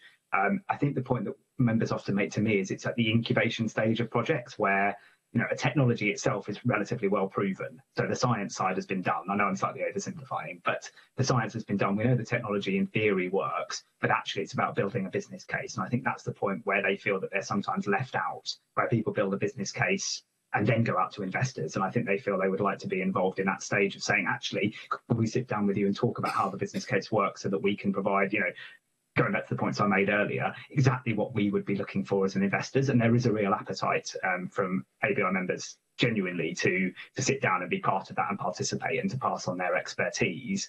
And actually, I say that if you if you go to the rationale for that, a lot of our members, um, so 89% of the UK's long-term savings market now that are members of the ABI have made net zero commitments under the UN Race to Zero campaign. But you know that's only part one and they really now need the things to invest in instead. So they've made their commitments around how they're moving their assets away from carbon intensive sectors over time but they do need to see a different platform um, of things to invest in. So they are really genuinely committed with actually sitting down with local authorities and making this happen. So i'm very confident if you can get the kind of opportunities to to bring our members in that they would they would come to the table and share their expertise. And, and obviously you know in the long term for them I think most of them are confident that these investments are good value um, and the things they would want to invest in anyway so they don't want to miss out on good opportunities and so that's the broader point I would make um, I hope that's helpful. Thank you Ben and just come to Jeremy now. So I'm listening and I'm I'm really excited by everybody's optimism but at the same time and I, I don't want to be the rain cloud but when we met with the institutional investors around the proposed London issuance, I asked, do you have resource that can go in to provide support? And while everybody said, we would love to invest in this transaction, nobody put their hand up to say, we have this spare floating resource that can prep the transactions or that can help with the financial structuring. So I think that while it's great to imagine that the private sector would be the investors, which is their role. I don't know how much any of them are going to jump in to provide that direct support over the entire process of preparing a project, largely because of the opportunity cost for putting somebody on secondment. So I don't think that it's necessarily realistic to expect that the private sector is going to come in, but I do think that it's realistic to, for example, think that the Scottish National Infrastructure Bank could provide exactly that support because this is the natural pipeline for them we're having very similar conversations with the UK Infrastructure Bank and asking them, what is, to, they're at their one year anniversary and they're talking about the support that they're providing. Our question directly to them is, what sort of technical assistance will you provide to local authorities? How will you help them to have a reliable pipeline of transactions? Just to give a sense of it, they have four billion pounds that are set aside for investment into local authorities to help them to get to net zero. But they haven't really been able to move much capital because the pipeline of projects doesn't exist. So this actually becomes not just helpful, but serves their goal of being able to invest into these opportunities. I would say that that's the same sort of opportunity that the Scottish National Bank can be looking at. I do want to come back to an earlier point, though, and mm, just as a point of clarification for everybody, when we talk about the fact that projects themselves are now financially ready and we just need to get the contractors in. One of the biggest challenges, and I don't know how many of you have tried to retrofit your own homes or know of people who've tried this, but there is a lack of contractors. And so one of the things that's important isn't just the financial capacity building for local authorities or the technical side on the structuring of the transactions, but there's also the need to build up the capacity of some of the contractors, some of the laborers, some of the tradespeople who have the ability to do this work but don't actually know how to do it in line with net zero expectations. And so this is one of the things that, that I've encouraged the Greater London Authority to do with some of the profitability from the proceeds that come back on repayment on their transaction. Invest that into technical assistance facilities, not necessarily just for the local authorities or for the borrowers you have, but also into the tradespeople themselves so that you can deliver this at pace and at scale. And I think that that might be another thing for you to consider when looking at how do we help local authorities to get to this point?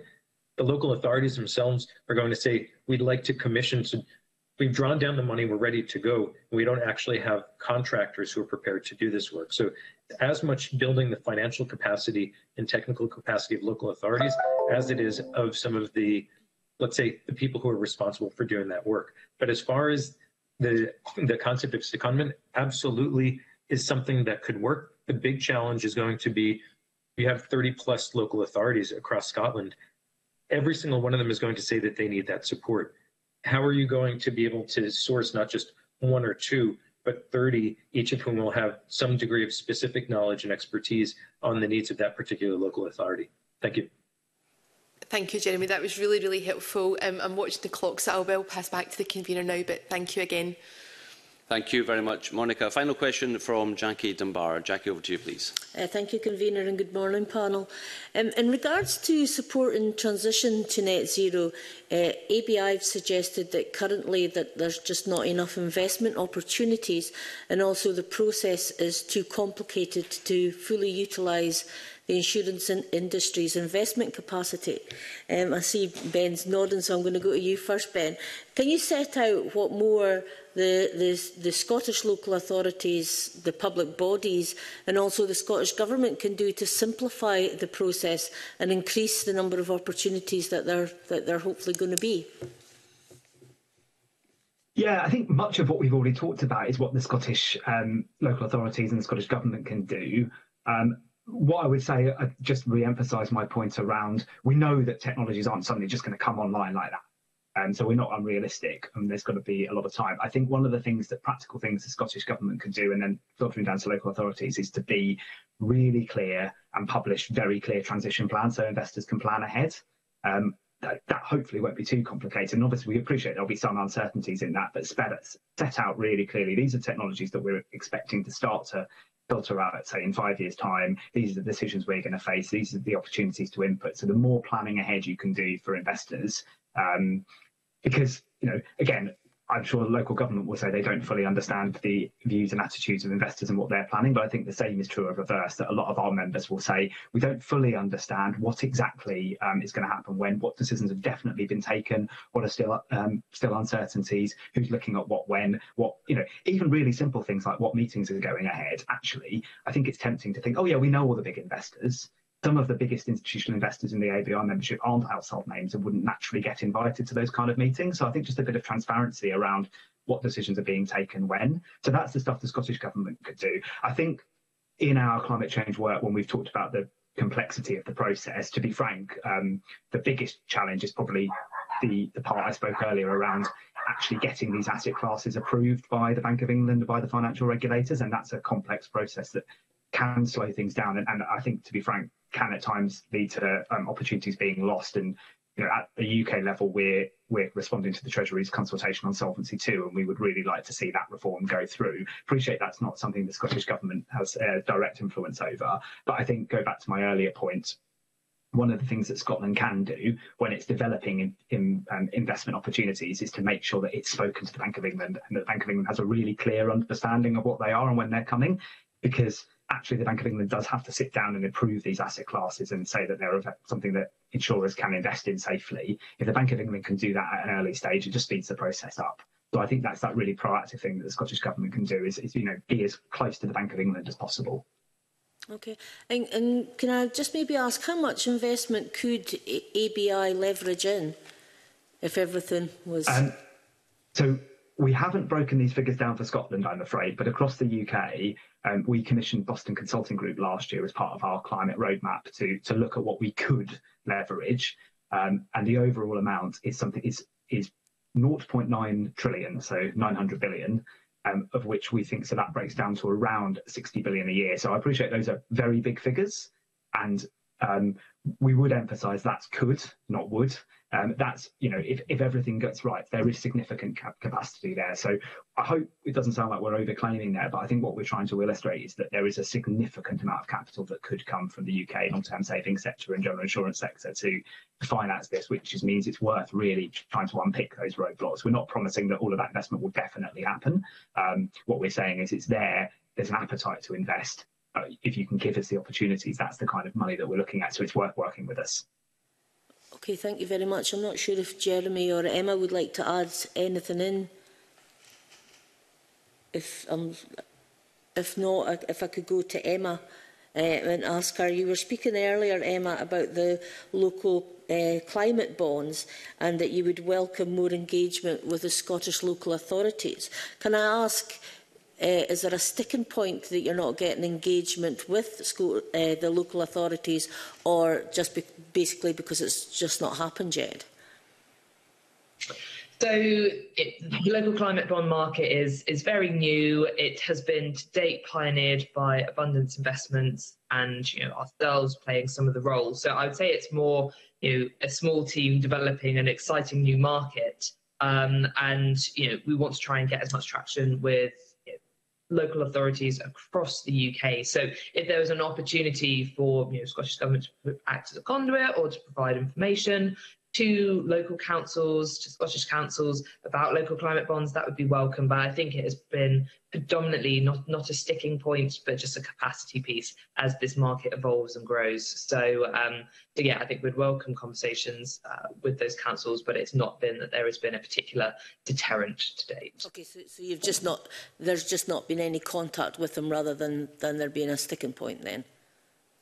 Uh, yeah, I think there's maybe been some early tentative contact, but yes, I think it's more around having that sort of dedicated, targeted engagement. Okay, thank you very much. I'm very wary of the time, convener, so I'll just pass back to yourself. That's great. Uh, yes, uh, thanks very much, Jackie. We, we are uh, up against the clock, but I'd, there's one, one or two specific questions to follow up. Um, For, first, uh, a very brief uh, question to, to Jeremy. The question of standardisation and uh, looking at the GLA bond issue, which might, might set the uh, market precedent for some of this. Um, are there, is it rated? Are the rating agencies involved in this in order to uh, provide a level of standardisation in the structure? And, and Emma, the question for you I had uh, was on skills and expertise at a local authority level. Presu presumably there's going to be an issue about pay rates to attract uh, the necessary people with the right expertise because local authorities will be competing with the private sector and uh, even if uh, the local authorities you know train people in this area they, they might be at risk of losing them to, to the private sector so I, I just wondered if you had any thoughts on that. So Jeremy first to you very briefly and, and then Emma please. Absolutely. Uh, I'll answer very quickly. Yes, this is absolutely going to be a rated instrument. Um, there's no way that, that the institutional investors would feel comfortable with this. The expectation is that this will be investment grade, which allows for the bulk of the institutional investors to come in. Not only is it important in primary issuance, but also in secondary trading. We want to make sure that this is as liquid as possible. And so there's there's really no way around it. People have said at various times, oh, maybe we can find a way to more creatively do this. There's no creativity when it comes to having a financially traded instrument where we want to see liquidity. So that's the, in a short answer, yes, absolutely needs to be rated. And we haven't yet determined who it's going to be, but it's going to be one of the big, probably Moody's or, or S&P. That's great, Jeremy. And if and when the prospectus is issued, uh, it would be great if you could uh, send a copy of that to, to the committee, if, that, if that's uh, appropriate. Absolutely. I mean, it's going to be a public document, so happy to share that. Okay. I'll hand, I'll hand over to Emma for that question on uh, pay rates at local authorities. Yeah, a, a, really interesting point to raise, and you know, this is where you know, a couple of points to say. This is where secondments can be really important. So, somebody coming in with financial expertise who can then actually upskill local citizens within the area. So that can be, or local citizens, sorry, um, councillors and civil servants within the um, within the council. So, really playing an upskilling role so that those skills are transferred when secondment ends. But I think one of the other pieces to say is these roles, particularly if you are looking at green and climate finance, they can really appeal to, to, to, people because they have a really strong purpose, really strong outcome. So some people may actually be willing to to take a slight pay cut to go and actually work in an area that, that is really strongly appeals to them. And I think we've seen many, many people starting to move into some of the sustainability finance areas and willing to take, you know, a temporary a temporary pay pay cut do something that has massive outcome and massive impact. So I think it's a it's it's a sort of multiple multiple sort of approaches for being able to actually attract that talent into the area. Okay, Emma, thank you very much. That, that brings us to the end of our allocated time. Thank you very much uh, for taking part. It was a fascinating discussion. Um, thank you for sharing a, a very wide range of insights and your expertise in this area. You've given the committee a, a lot of good information, a lot of good background to uh, focus on and to take forward our inquiry. So thanks once again. Enjoy the rest of your day. Jeremy, I appreciate it. It's probably about six o'clock in Indonesia, so enjoy uh, your evening uh, in Indonesia. Um, I will now briefly suspend uh, the meeting for the setup of our next panel. Thank you.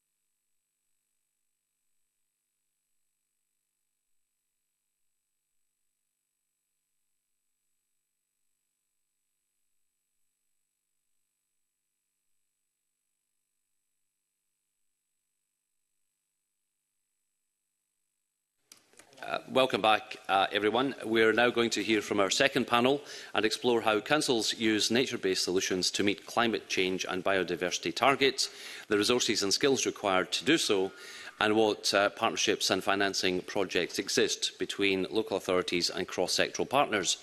Um, we have a larger than usual uh, panel to discuss these issues today, so perhaps I can invite uh, the panel members to introduce themselves and their organisations in turn. I'll start with um, our guests uh, in the committee room, uh, Julie and Simon, and then I'll ask John, Nick and David online to introduce themselves and very briefly uh, perhaps introduce their organisations. So, uh, Julie, if I could hand over to you first of all. Uh, yeah, no problem. Thank you. So I'm Julie Waldron and I'm a senior planner from the City of Edinburgh Council. Um, I'm actually a landscape architect, so I do landscape and water issues in the council. And I work on projects alongside with Scottish Water and SEPA and Nature Scott, um, looking at climate change adaptation. Good morning, everybody. Um, my name is Simon Parsons. I'm one of the directors from Scottish Water uh, where I sponsor the, the majority of our sustainability activities, including net zero and all the activities around investment in climate change. Thank you very much. And if I could ask uh, John, Nick and David online to do likewise, please. You John Cunningham from Western Isles Council, Corn and Naniel and Shear, local authority for the Western Isles or the Outer Hebrides, uh, working in energy solutions, onshore wind, offshore wind, into hydrogen, and obviously climate change mitigation and ad adaptation. Uh, morning, I'm Nick Halfhide. I'm Director of Nature and Climate Change at NatureScot. As you know, we're the, the government's national agency uh, looking at uh, right across kind of biodiversity uh, nature issues, working at both national level and also working strongly with many local authorities around monitoring, uh, regulation um, and supporting through a range of grants. Thank you. Uh, good morning, everybody. Good to be here. Uh, my name is David Harley, um, Interim Chief Officer for Circular Economy at SEPA.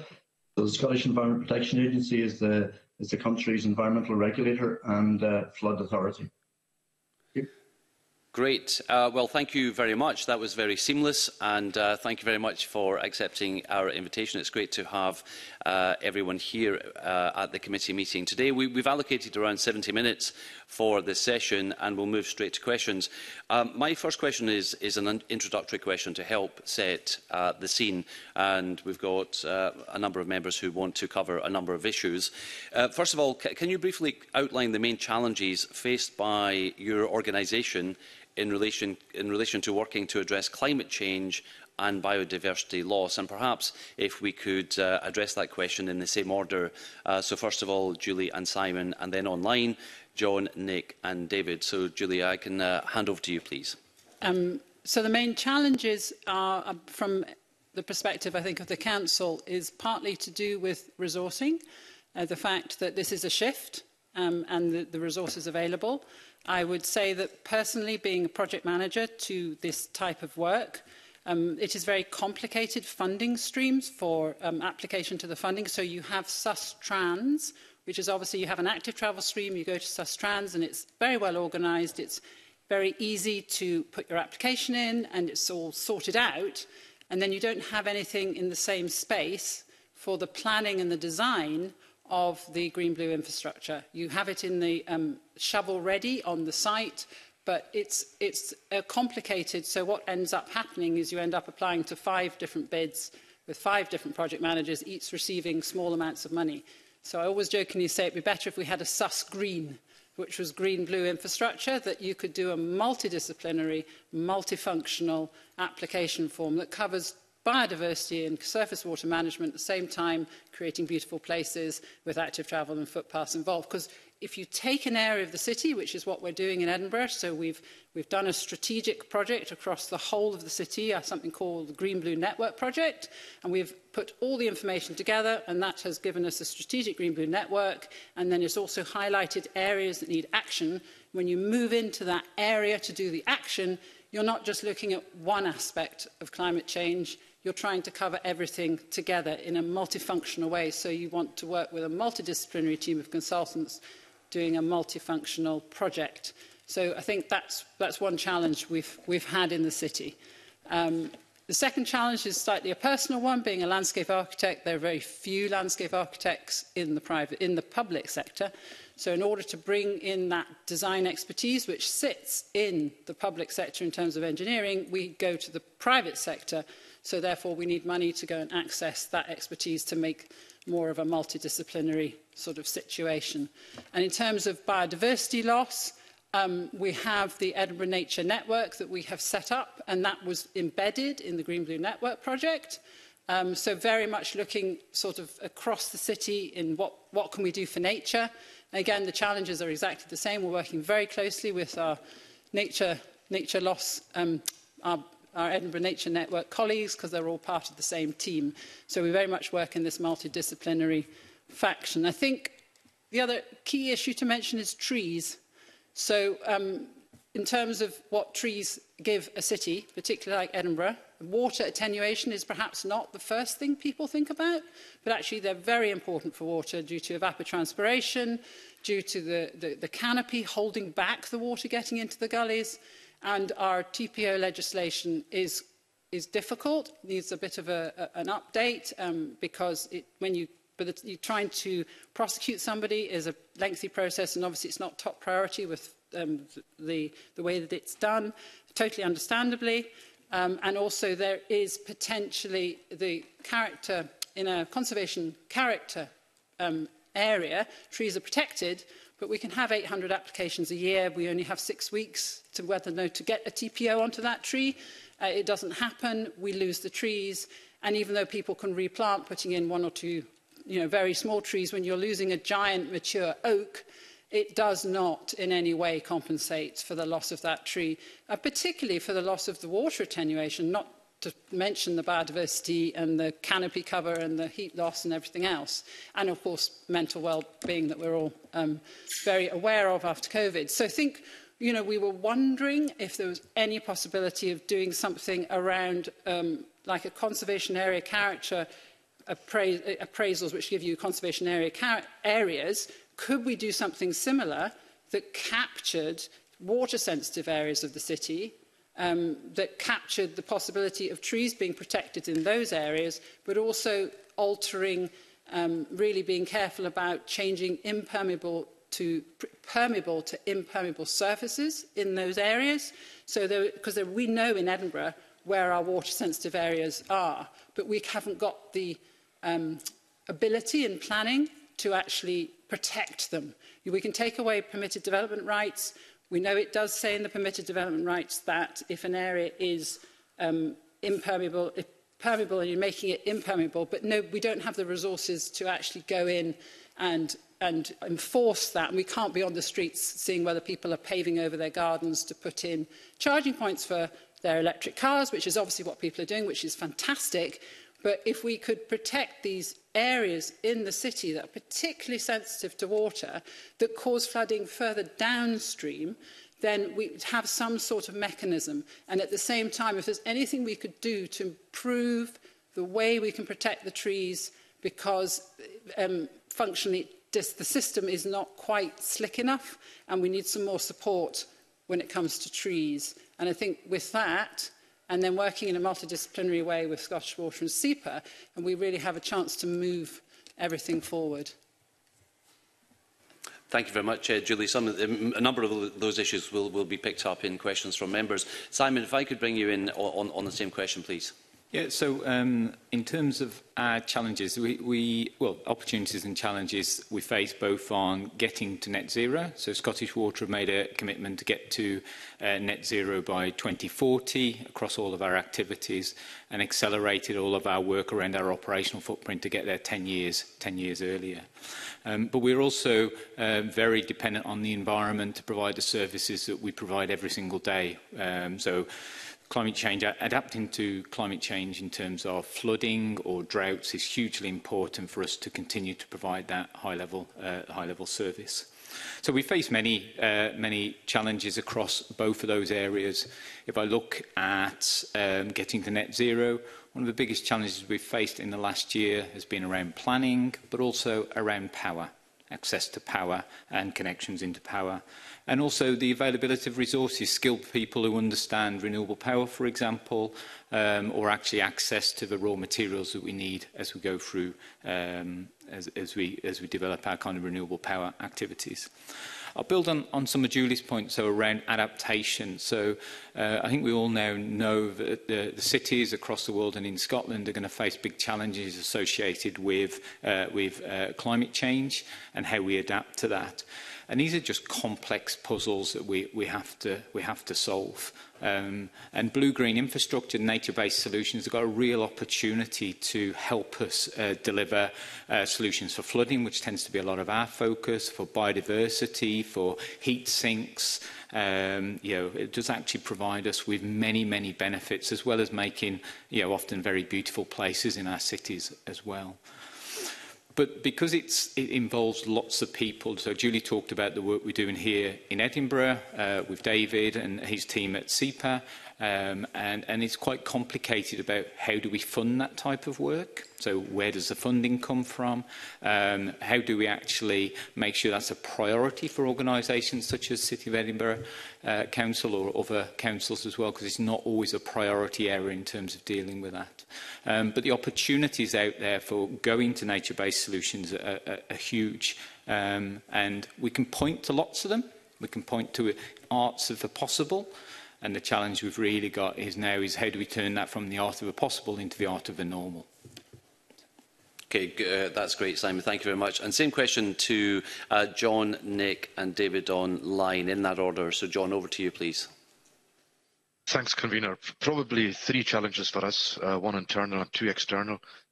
First on around funding, just echoing Julie's point there at the beginning that the local authority funding is not equipped at the moment to, to provide solutions for the problems that we face. In the Western Isles, uh, because the funding formula, we're the, the largest reduction really in central funding for the local authority. We do need some external injection of, of funding and support for what lies ahead of us. Externally, we have a challenge in the natural environment. We have a Western Isles, a 120 mile long archipelago largely with a, a, soft mobile coast on the Atlantic seaboard. So we, we've front line of climate change facing the full force of Atlantic weather systems. A hard infrastructure we've discovered is not necessarily the answer. It's carbon intensive. It tends to be very expensive and it just displaces the damage further down the coast. We are looking actively at, at uh, green interventions, non-infrastructure non interventions in that space. Thirdly, we'd like to accelerate decarbonisation, but we've been constrained by the grid network, the, just the very layout of our electricity network, how difficult it is. It takes years to change the re regulatory system in favour of, of places like islands, rural areas. So we really need to accelerate how adaptable the grid is to allow us to decarbonise. Thanks. Thank you very much, uh, John. Uh, and Nick, uh, same question to you, please. Yes, thanks very much. Um, I'll try and keep this brief. Um, I think our first biggest challenge is, is, the, is the, the, pace and the scale of what we have to do. Um, if, if, we're looking at emissions uh, uh, for climate change, we know that how we manage the land and the sea is about a quarter of our emissions. So we see how quickly other sectors, particularly electricity, are, are decarbonising. We see the scale, uh, pace, and, and the volume of resources going into that. We need to do something similar for the 25% um, of our land and sea that, that it, the land and the sea that's producing those 25% of emissions. So that, that, that's one challenge. Um, I think the second is around adaptation, um, which we've already heard um, from, from the Outer Hebrides. But we know across Scotland that there are 15 billion pounds worth of assets um, protected by our natural coastal systems, and many of those are at risk um, as sea levels rise. So those, that's the sort of scale and, and, and the pace at which we need to move. Um, I mentioned resourcing, uh, the, the, volume of, of money, and I, your earlier session was looking at how we can get that private sector money in. We know it's there, but how, how do we put together projects in what is a very complex, many different actors? Um, how, how do we pull that together? And then something around skills. Um, do we have the right skills in the right places? We know there's a huge volume of jobs coming online within the climate change and in the biodiversity sector, but um, many of those are difficult to fill, and many of those are in our more remote areas where things like housing and other uh, provisions are challenging. And then there's the capacity. uh, whether it be in local authorities, within the NGOs, within the farming or the fishermen uh, sector. We're talking about a major cultural change as well as new skills and having just the right people, having enough people to put together projects and have enough basic climate and, uh, and nature literacy. So I think those would be the few that I would run through. Thank you. Thank you very much, Nick. And finally, uh, uh, David, uh, same question to you, please. Yeah, just uh, very much building on others' contributions. Um, I guess what we're talking about in many cases, particularly when it comes to climate change adaptation, is a is a natural systems failure. Um, and, and, of course, there's a cascade of problems there. Uh, and if you think of the water environment, you get poor water quality, you get flooding, sewage discharges, biodiversity loss, health, and a kind of a cascade, a negative cascade. However, if you if you rebuild that natural system, you equally equally get a sort of virtuous cycle of, of, of multiple benefits. You get uh, you know less flooding, healthier cities, better air quality, active travel, biodiversity, and so on and so on. And I guess I guess my main point then is that it's a complicated system and therefore requires many players to, to work very collaboratively to get that right. Now that's different players within an organisation such as a local authority or also different agencies, and, including ourselves around the table. So I think the main cha the challenge is finding that space for that for that deeply collaborative work, which should become the default of how we work rather than the transactional way of working. So I think there's a there's a capacity issue there, which is a which is a key issue. I think there's also something about standardi standardization that came up in the last session a lot. I think there's something about using standard approaches and learning from each other. And then I also think there's something about, um, I think that uh, we could strengthen planning to make some of these requirements uh, the default.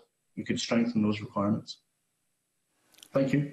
Thank you very much, David, and thank you for those uh, opening remarks. Uh, you've raised a number of issues which I'm sure members will want to explore.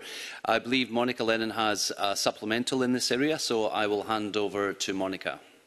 Thank you, convener. Um, yeah, Julie, I thought what you said about um, trees in your opening remarks was really really fascinating. I declare an interest as the Parliament's Oak champion um, and a former planner, so I recognise a lot of what you said. Um, we've just been joined by lots of young people, so my question um, is, is, is even more relevant now. Um, in our earlier session this morning, we talked a lot about finance and about unlocking opportunities.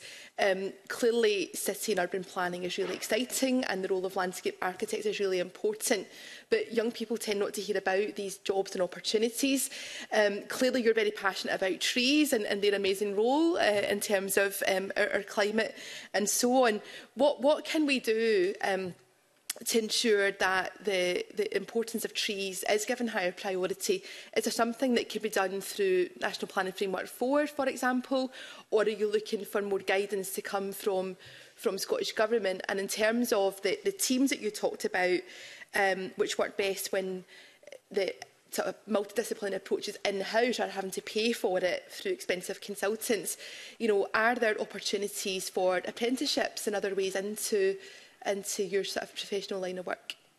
Ooh, very interesting questions. Hang on and let me think. Right. Um, in terms of apprenticeships and that type of thing, I think there are opportunities in the um, maintenance side of these systems because maintenance is not seen as very exciting, but is absolutely key. So we're moving, if you like, from a a dead system of pipes under the ground to a living system of things above the ground, things that are uh, alive, that grow, uh, like rain gardens and trees. And we, we need to maintain these and, and help these systems survive. So I think that that's an area, because there we have in the, well, I can only speak from half of City Council, Um, we have a parks department and obviously with people who are very skilled at maintaining parks and horticulturalists um, in terms of cutting grass and, and looking at the the planting, but they're not, uh, they don't yet have the skills in the wet side, the rain gardens and the water side and the suds trees. So trees can not only be fantastic in the street as it stands and evapotranspirating, getting all the,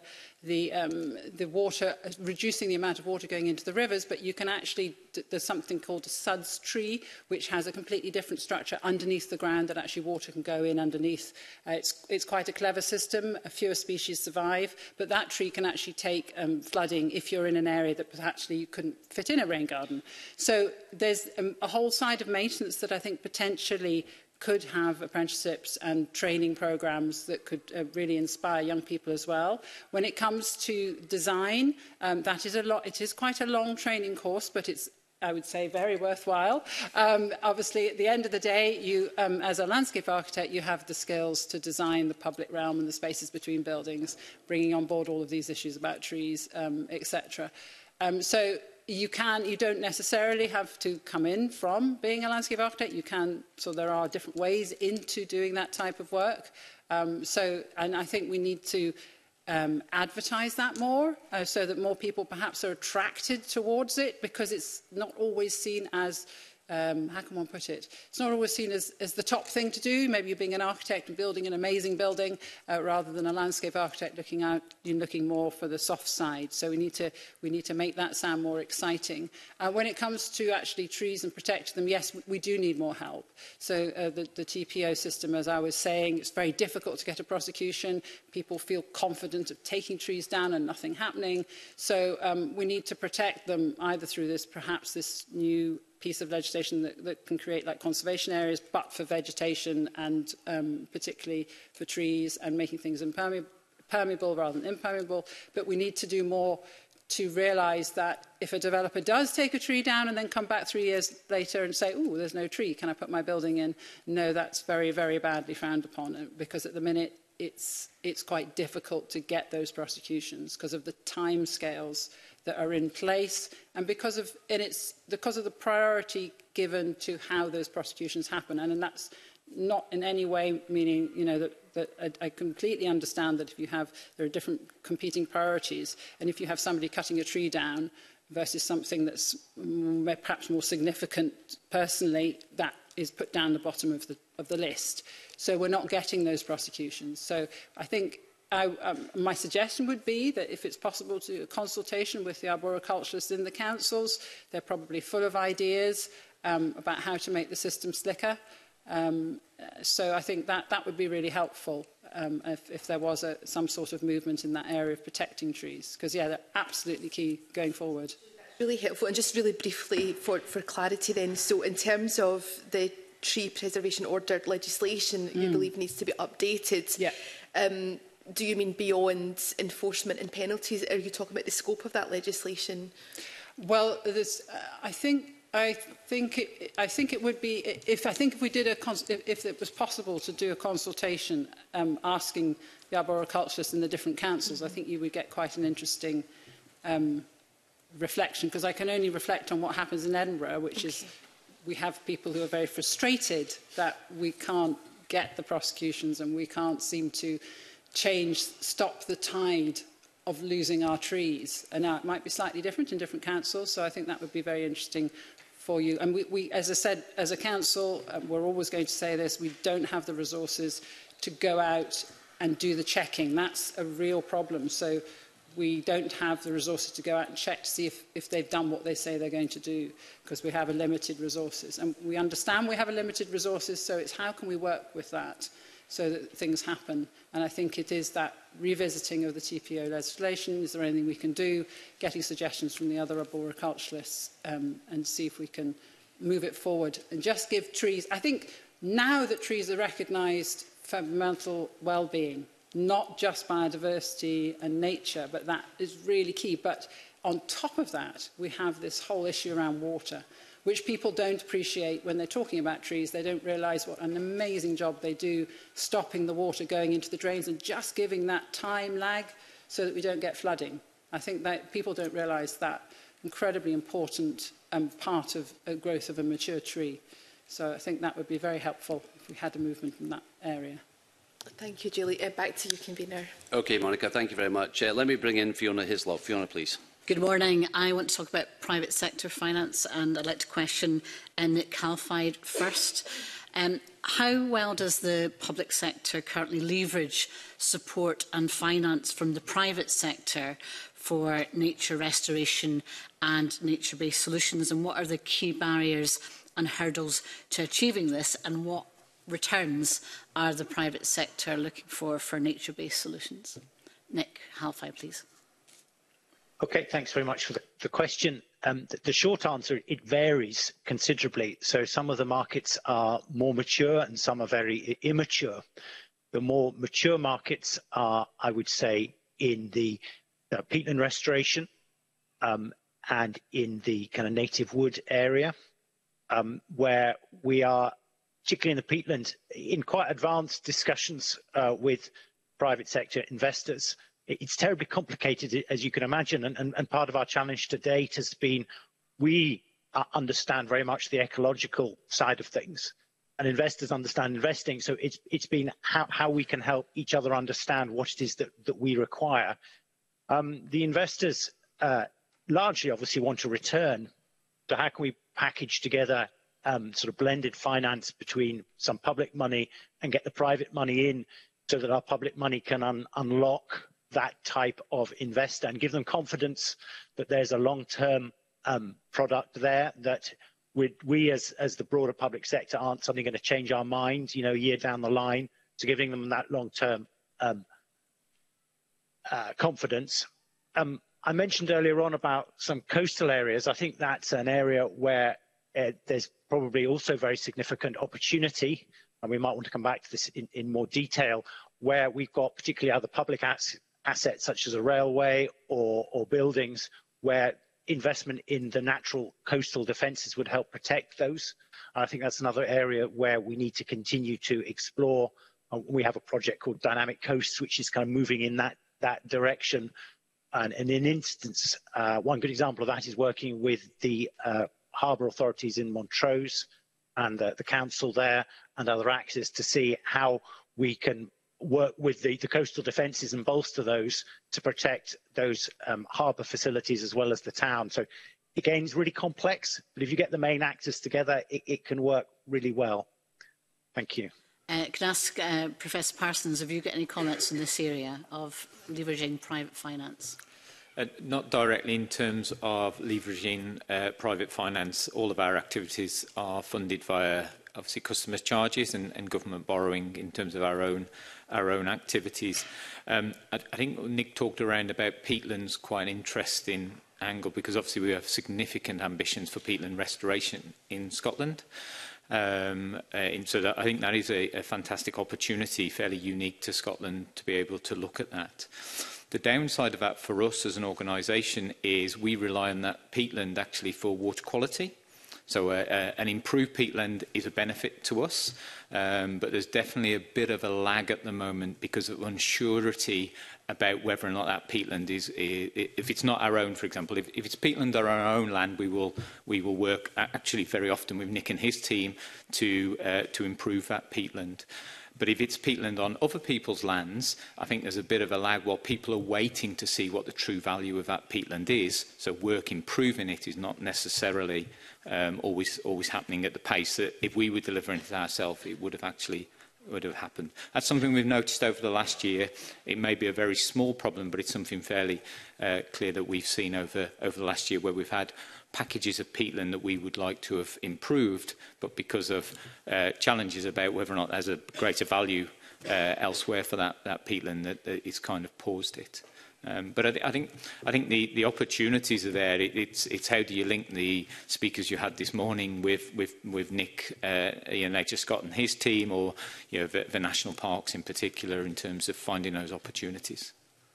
And uh, changing tack slightly, I'm going to ask uh, Julia Uh, I was very struck by what you were saying is we need a nature-based equivalent of Sustrans, perhaps we need a nature-based equivalent to the heritage conservation areas, but city deals are clearly um, another mechanism that is bringing together public and private finance in, uh, in strategic planning. So do you think city deals are adequately aligned with nature restoration goals and the use of natural infrastructure to achieve net zero? Or do we perhaps need to revisit some of the city deals with the net zero lens that some of them have been established for some time? I'm, I would um, admit I'm not an expert on the city deals mm. and the money is used for that, but my suspicion would be, just for sort of in, in the world of, of, of me as a project manager trying to bring money in, is that it's very net zero based rather than adaptation based and it's this issue around net zero being really exciting and um, um, new and different and adaptation being quite hard work and it's about maintenance and you've got to retrofit, and even that word retrofit is quite heavy. Um, so in, just in terms of uh, the city deal and, and, and money side, I've found, and, and I'm, I might like stand to be corrected, the Nature Restoration Fund is fantastic, but it starts at shovel ready only. So it starts at when you've done the designs. And the bit that I'm struggling with, and I think a lot of us are in, in the area, is the organising of where should that be Uh, what strategically, how should it be? Then where's the project area? Then we need to actually design it in a multidisciplinary, multi, you know, in a big multidisciplinary group. And then we're ready with our construction and then we can go and build it and we can get money. So it's that, it's that planning stage. Now, maybe that is in the city deal, but, but uh, I've not been pointed in that direction by our finance people who understand the city deal and, and obviously know about it. So it might be that it's because I'm too far down the line, um, and I'm sitting doing the projects. Um, but I'm, I'm afraid I can't give you a very good answer on the city deal um, question. Is an interesting perspective that the city deals are more net zero focused rather than biodiversity mm. crisis and, and nature solutions focused.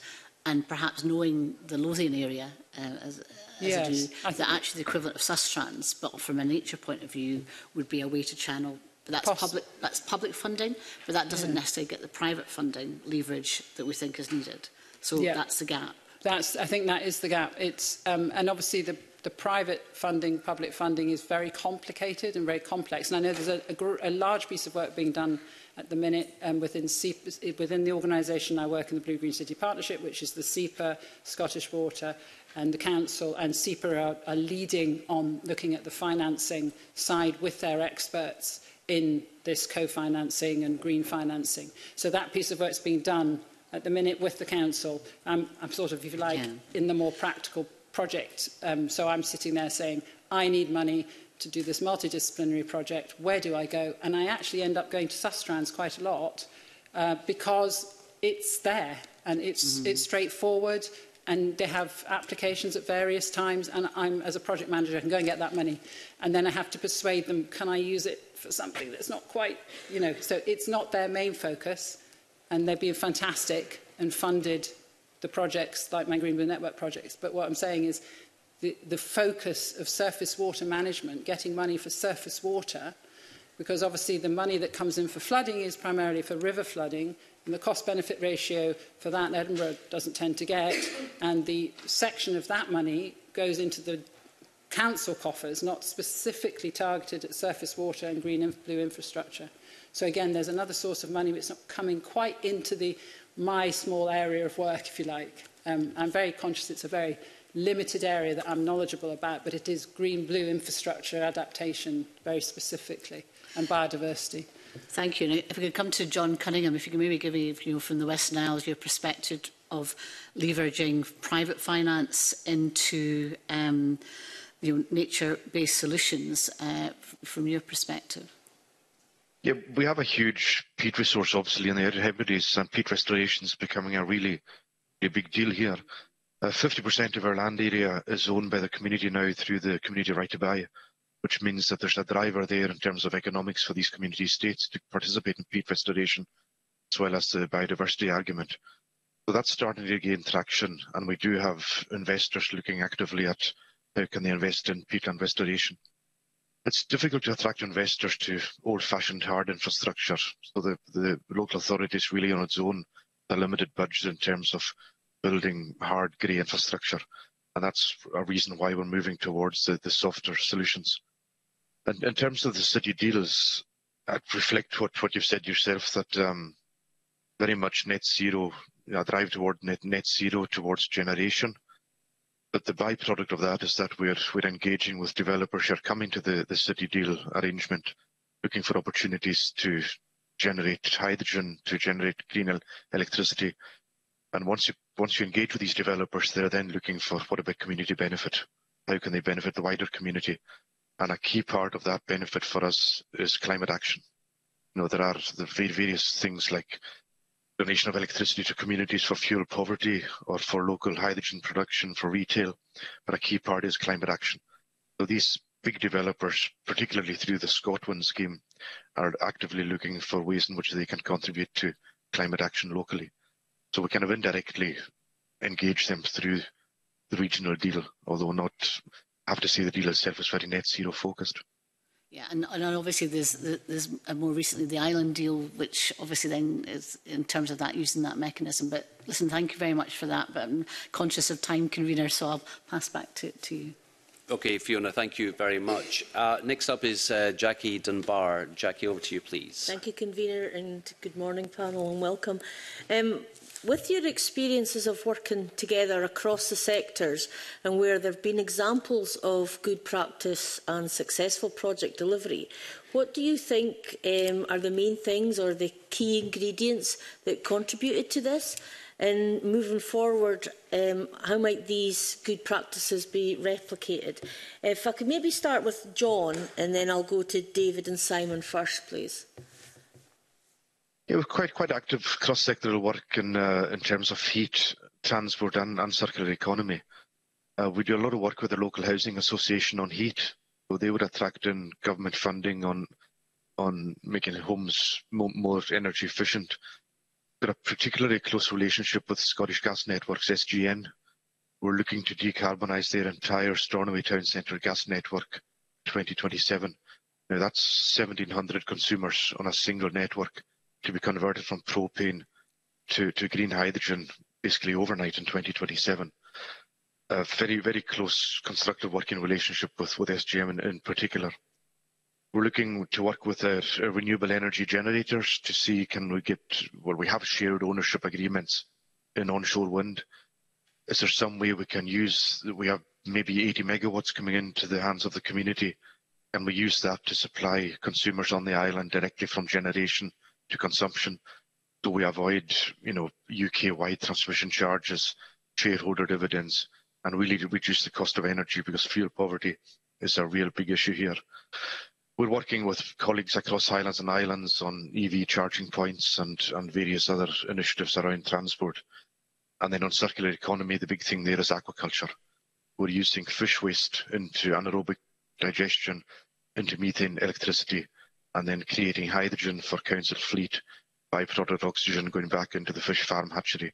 So a real good example of, of circular economy.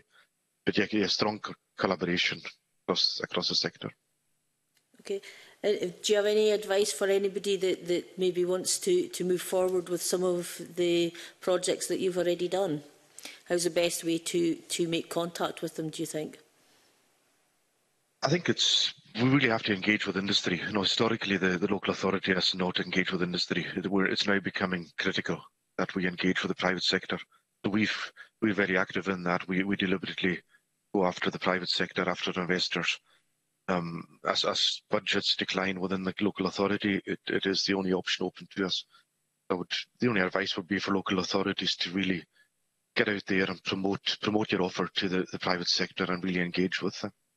Okay, thank you very much. Um, can I go over to David now, please? Yeah, I've got some general reflections and I'll, I'll, I'll give an example. Um, I think you've got to have good governance. You've got to have a good structure.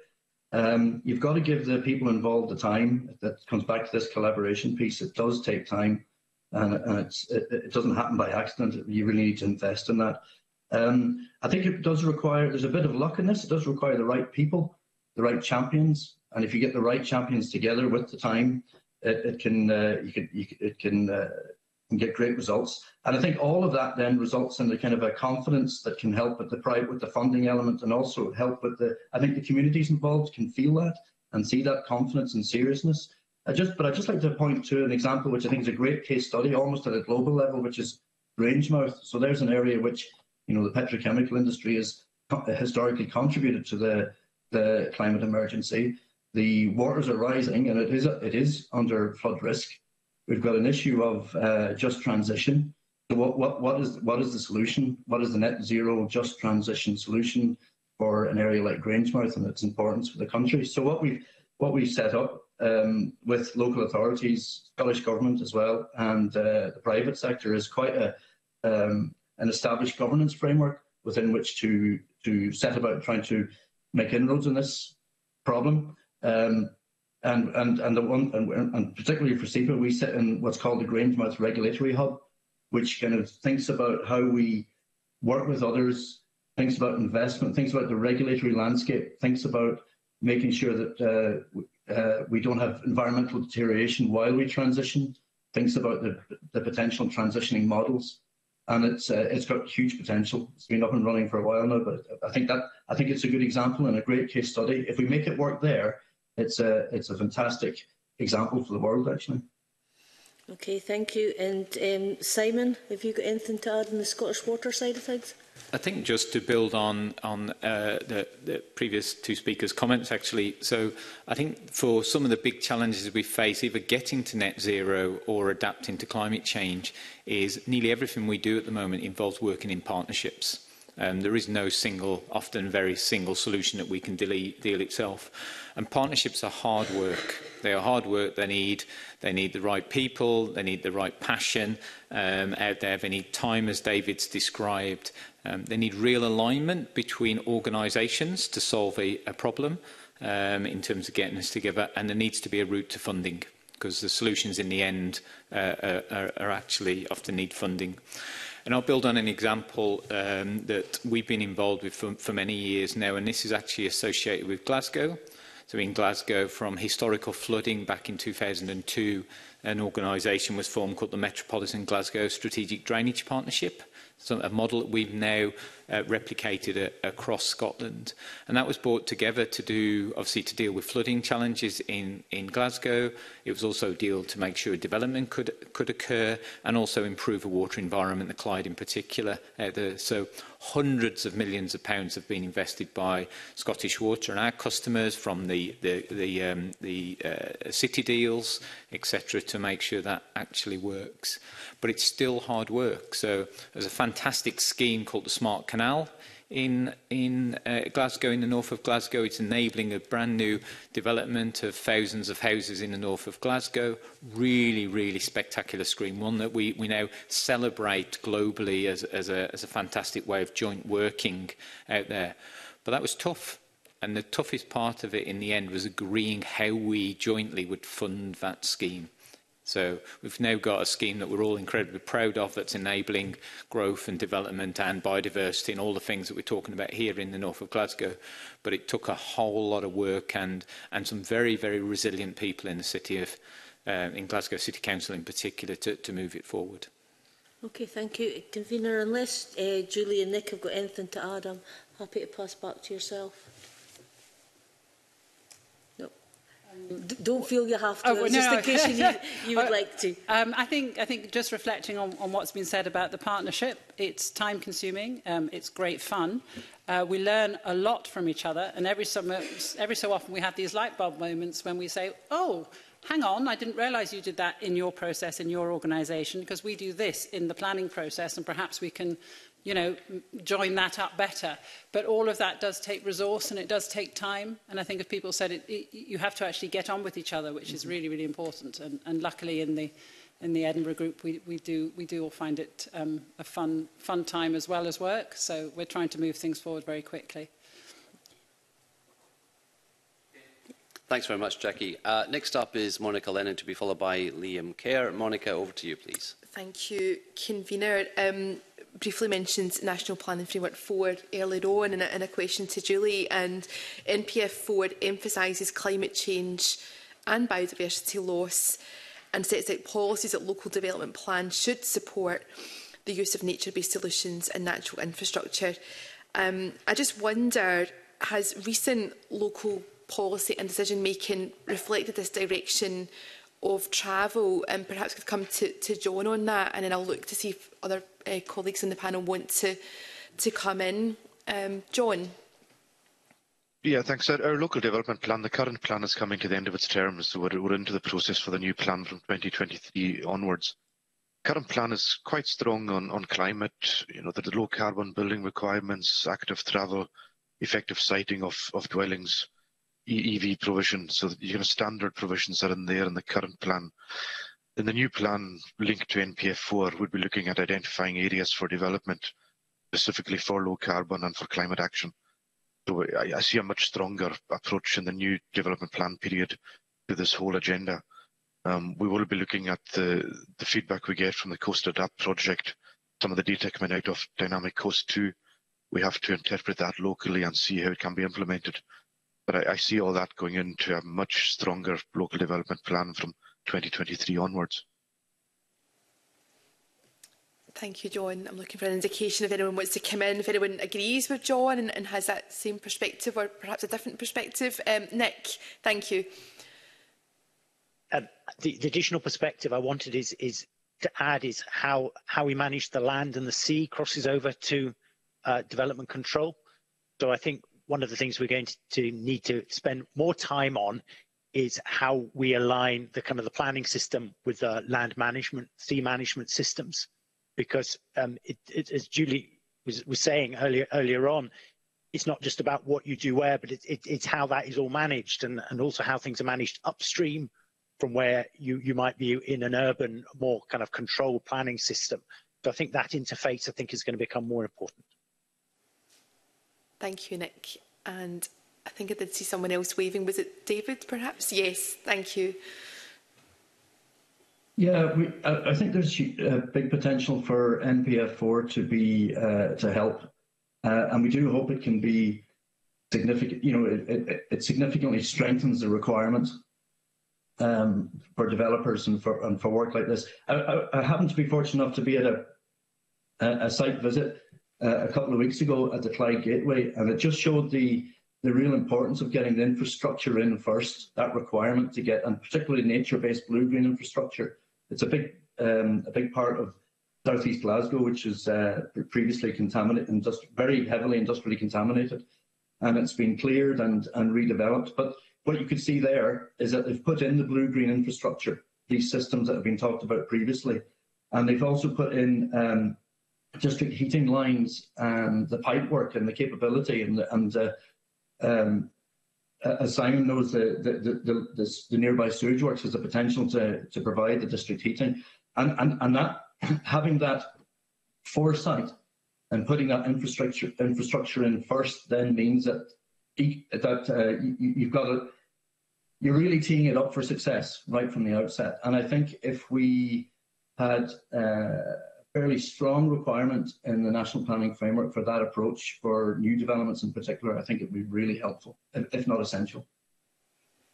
Thank you, David. And good to hear you mention Clyde's Gateway. Um, lots of success to celebrate, but I think some of the issues around contamination are, are still ongoing challenges. So perhaps anyone in government reading the official report today might want to, to, to have a wee look at that. Um, so how can we ensure that planning departments have the, the right tools and resources to encourage these um, nature-based solutions and, and, and natural infrastructure to, to embed that. Um, we hear a lot that, that planning can be a barrier, that planning can be slow, um, and we know that you know there's there's lots of different stakeholders that, that planners have to work with and take into account. Um, maybe turn back to, to Julie um, on that point. Um, do you feel confident that you and your colleagues have the, the right tools or that the resources is, is coming your way?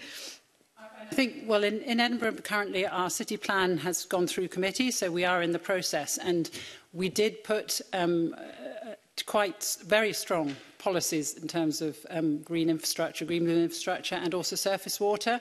Um, writing the policies very much with support of Nature Scotland, Scottish Water and SEPA. So um, changing quite a shift So, um, and obviously it does align with MPF4, um, a lot of that. So we hope that once that gets into policy and agreed it will give us the requirement. But what we, what we have in the interim, if you like, is um, we have our water vision, which was a collaborative document very much written by the council but very much with Scottish Water and SEPA um, which sets out nine objectives one of them um, which has and what that has done is it now that it's a material consideration in planning Um, it's also for all the non-planning projects like roads projects and permitted development projects. It's basically um, being used by the private sector to help them do what they actually want to do, which is do a really good job. So um, it, uh, it, it, they're feeding it back to us, which is fantastic. So we've set the criteria that we were going to do in the policy, but we've set it up front so that it could go through committee sort of now.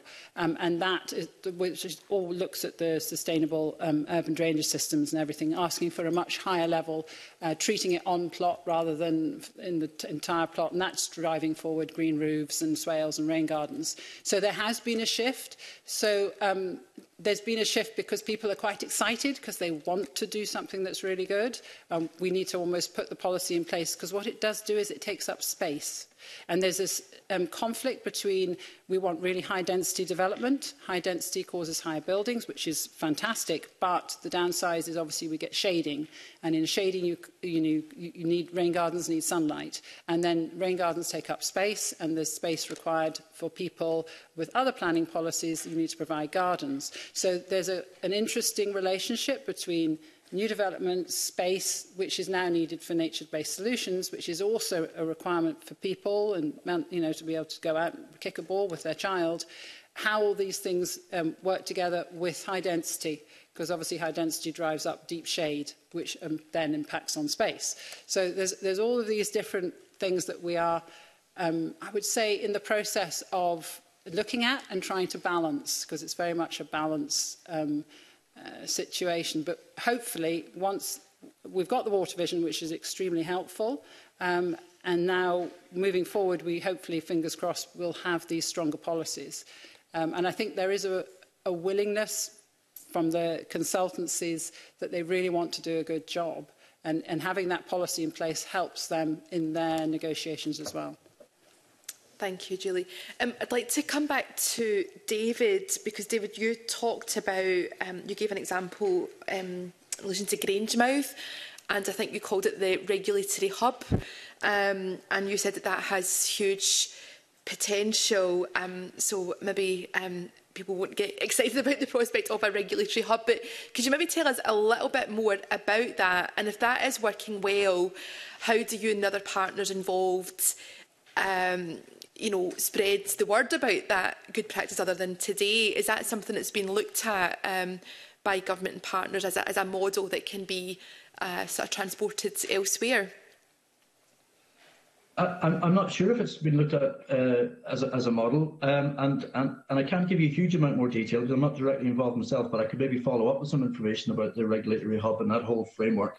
But, but absolutely, we, we, we feel that uh, you know, getting regulators, the private sector, the local community, um, uh, and critically the, critically the local authority, uh, who, who have a lead role, um, getting that partnership and, and structured collaboration around what is an existential issue for, for, for Grangemouth and, and, for, and for that community is, is the only way to come up with the, with the solutions. And in terms of, yeah, the word regulatory hub might, mightn't be the most exciting, but, but, but the regulations are important. We, we regulate you know, several very, very large installations with all sorts of environmental risks there. And there's this transition that's going to have to happen in some shape or form over the next uh, decades and, and making sure that uh, the regulations protect the environment in that transition, but also that they enable the, and at the same time, enable the transition is, is a crucial element of it.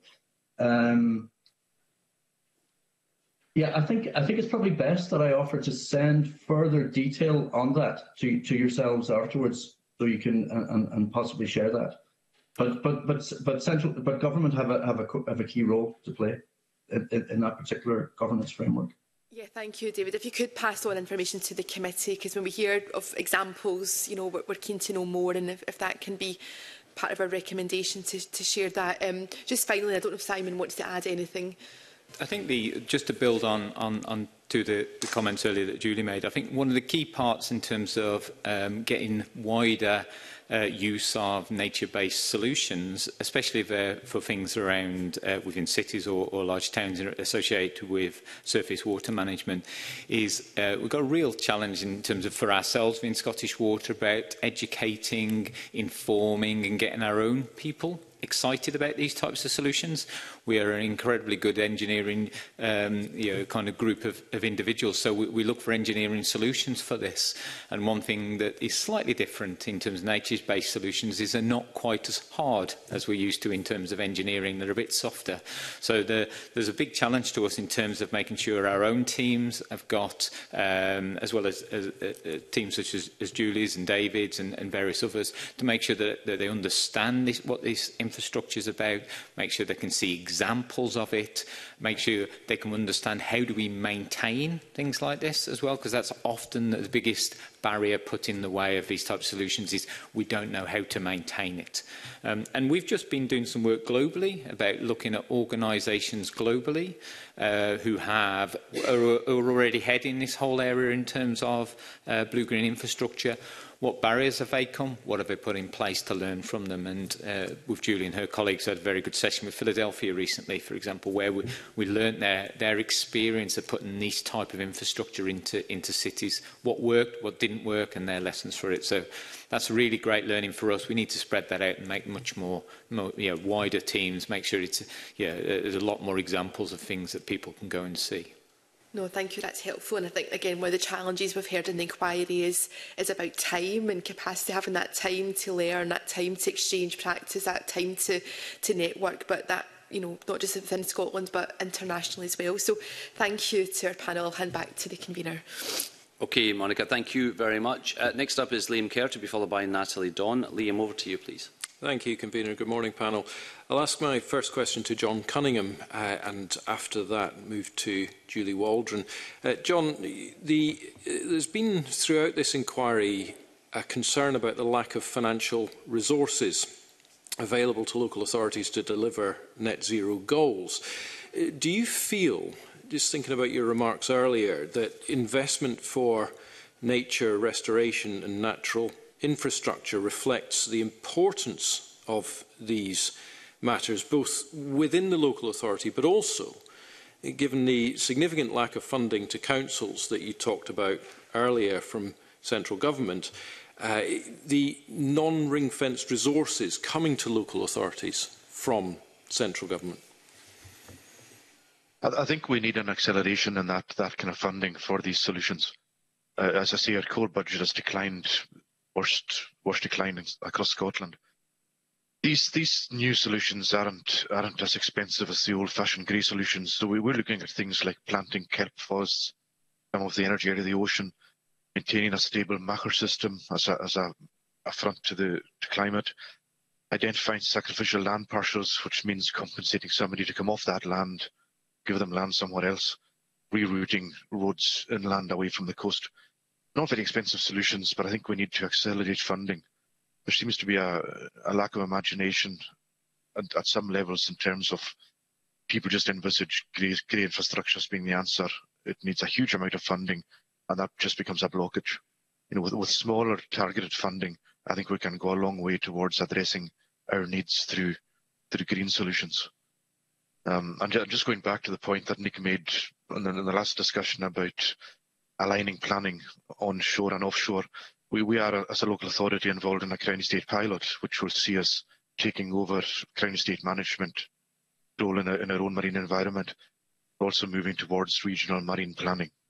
As part of that regional marine plan, we'll have a delivery plan which will identify how much funding is, is required, how can it be got, where are there sources. So we, we are starting to look at where can we enhance our existing funding for these new solutions. very grateful. Uh, Julie, would you like to add to that? Yes. Um, I think in a city situation like Edinburgh, Edinburgh like other cities have um, very um, old areas, like I mean, we've obviously got the World Heritage Site. So the complexity comes in how do you retrofit in an environment such you don't damage the, damage the character um, of the environment that's why it's been designated as a World Heritage Site. And that requires some really sensitive design. And then we've got underneath the ground, we have a, a I use the word plethora of unknowns. You know, we have underground passages, we have services we didn't know that existed, which came up through the tram project. That was some of the major hold, issues with that was the services that seemed nobody knew um, actually existed. So we are digging down to retrofit these type of elements. Um, and therefore, in a, in a city scenario, that can be very complicated. And therefore, the design time is longer, and obviously the funding is required is higher, um, because there's many more, obviously there's tremendous negotiations with Edinburgh World Heritage and, and Historic Environment Scotland, who are re who, who realise and want to work with us. But again, we were talking about how much time it takes working collaboratively with, with lots of people. And you have to make sure that everybody's um, um, views and everybody's um, considerations of the importance to their area of work, such as the World Heritage Site, is fully understood by the whole design process. So again, funding when it comes to um, retrofitting in an urban scenario can be quite complicated and, and fun well, funding be complicated to get, but it, we do need funding. And I think, I think all local, well, Edinburgh would say that resources are already um, fully doing a, a job, a day job, and almost this is we're requiring to do more because we, we didn't previously quite need to negotiate and work so collaboratively um, and that requires time energy and effort so there is there is a, a real pressure on the resources, I think is the way of putting it. Very grateful. Uh, Nick Halfhide, just on that exact point that Julie Waldron's just pulled out, how do you think that more effective partnerships, leadership from senior staff and elected members and policy levers for local authorities support the use of natural infrastructure and nature-based solutions at the local authority level? And allowing for the complexities of leveraging private finance that you talked about earlier, can it be done without a fundamental reassessment of local authority funding by the Scottish Government? Gosh, that's a big question, and I can't speak on behalf of the Scottish Government. But what I can give you is an example uh, which actually uh, ties into the point that Fiona Hislop was talking about earlier, uh, of how we have a, a, a, start in doing this within the, the, marine coastal environment, which links in very well to what, what John was saying. We've recently launched the Scottish Marine Environment Enhancement Fund, SMEEF, uh, which pulls together uh, not only uh, public funding through uh, an allocation from the Nature Restoration Fund, but uh, we are inviting contributions um, from developers, particularly offshore wind, but it doesn't have to be, to a central pot that we can then work with uh, particularly local authorities, but other coastal communities to try and invest back in uh, coastal areas to make them more resilient to climate change and also um, make those ecosystems um, more robust and therefore tackling the, the nature crisis.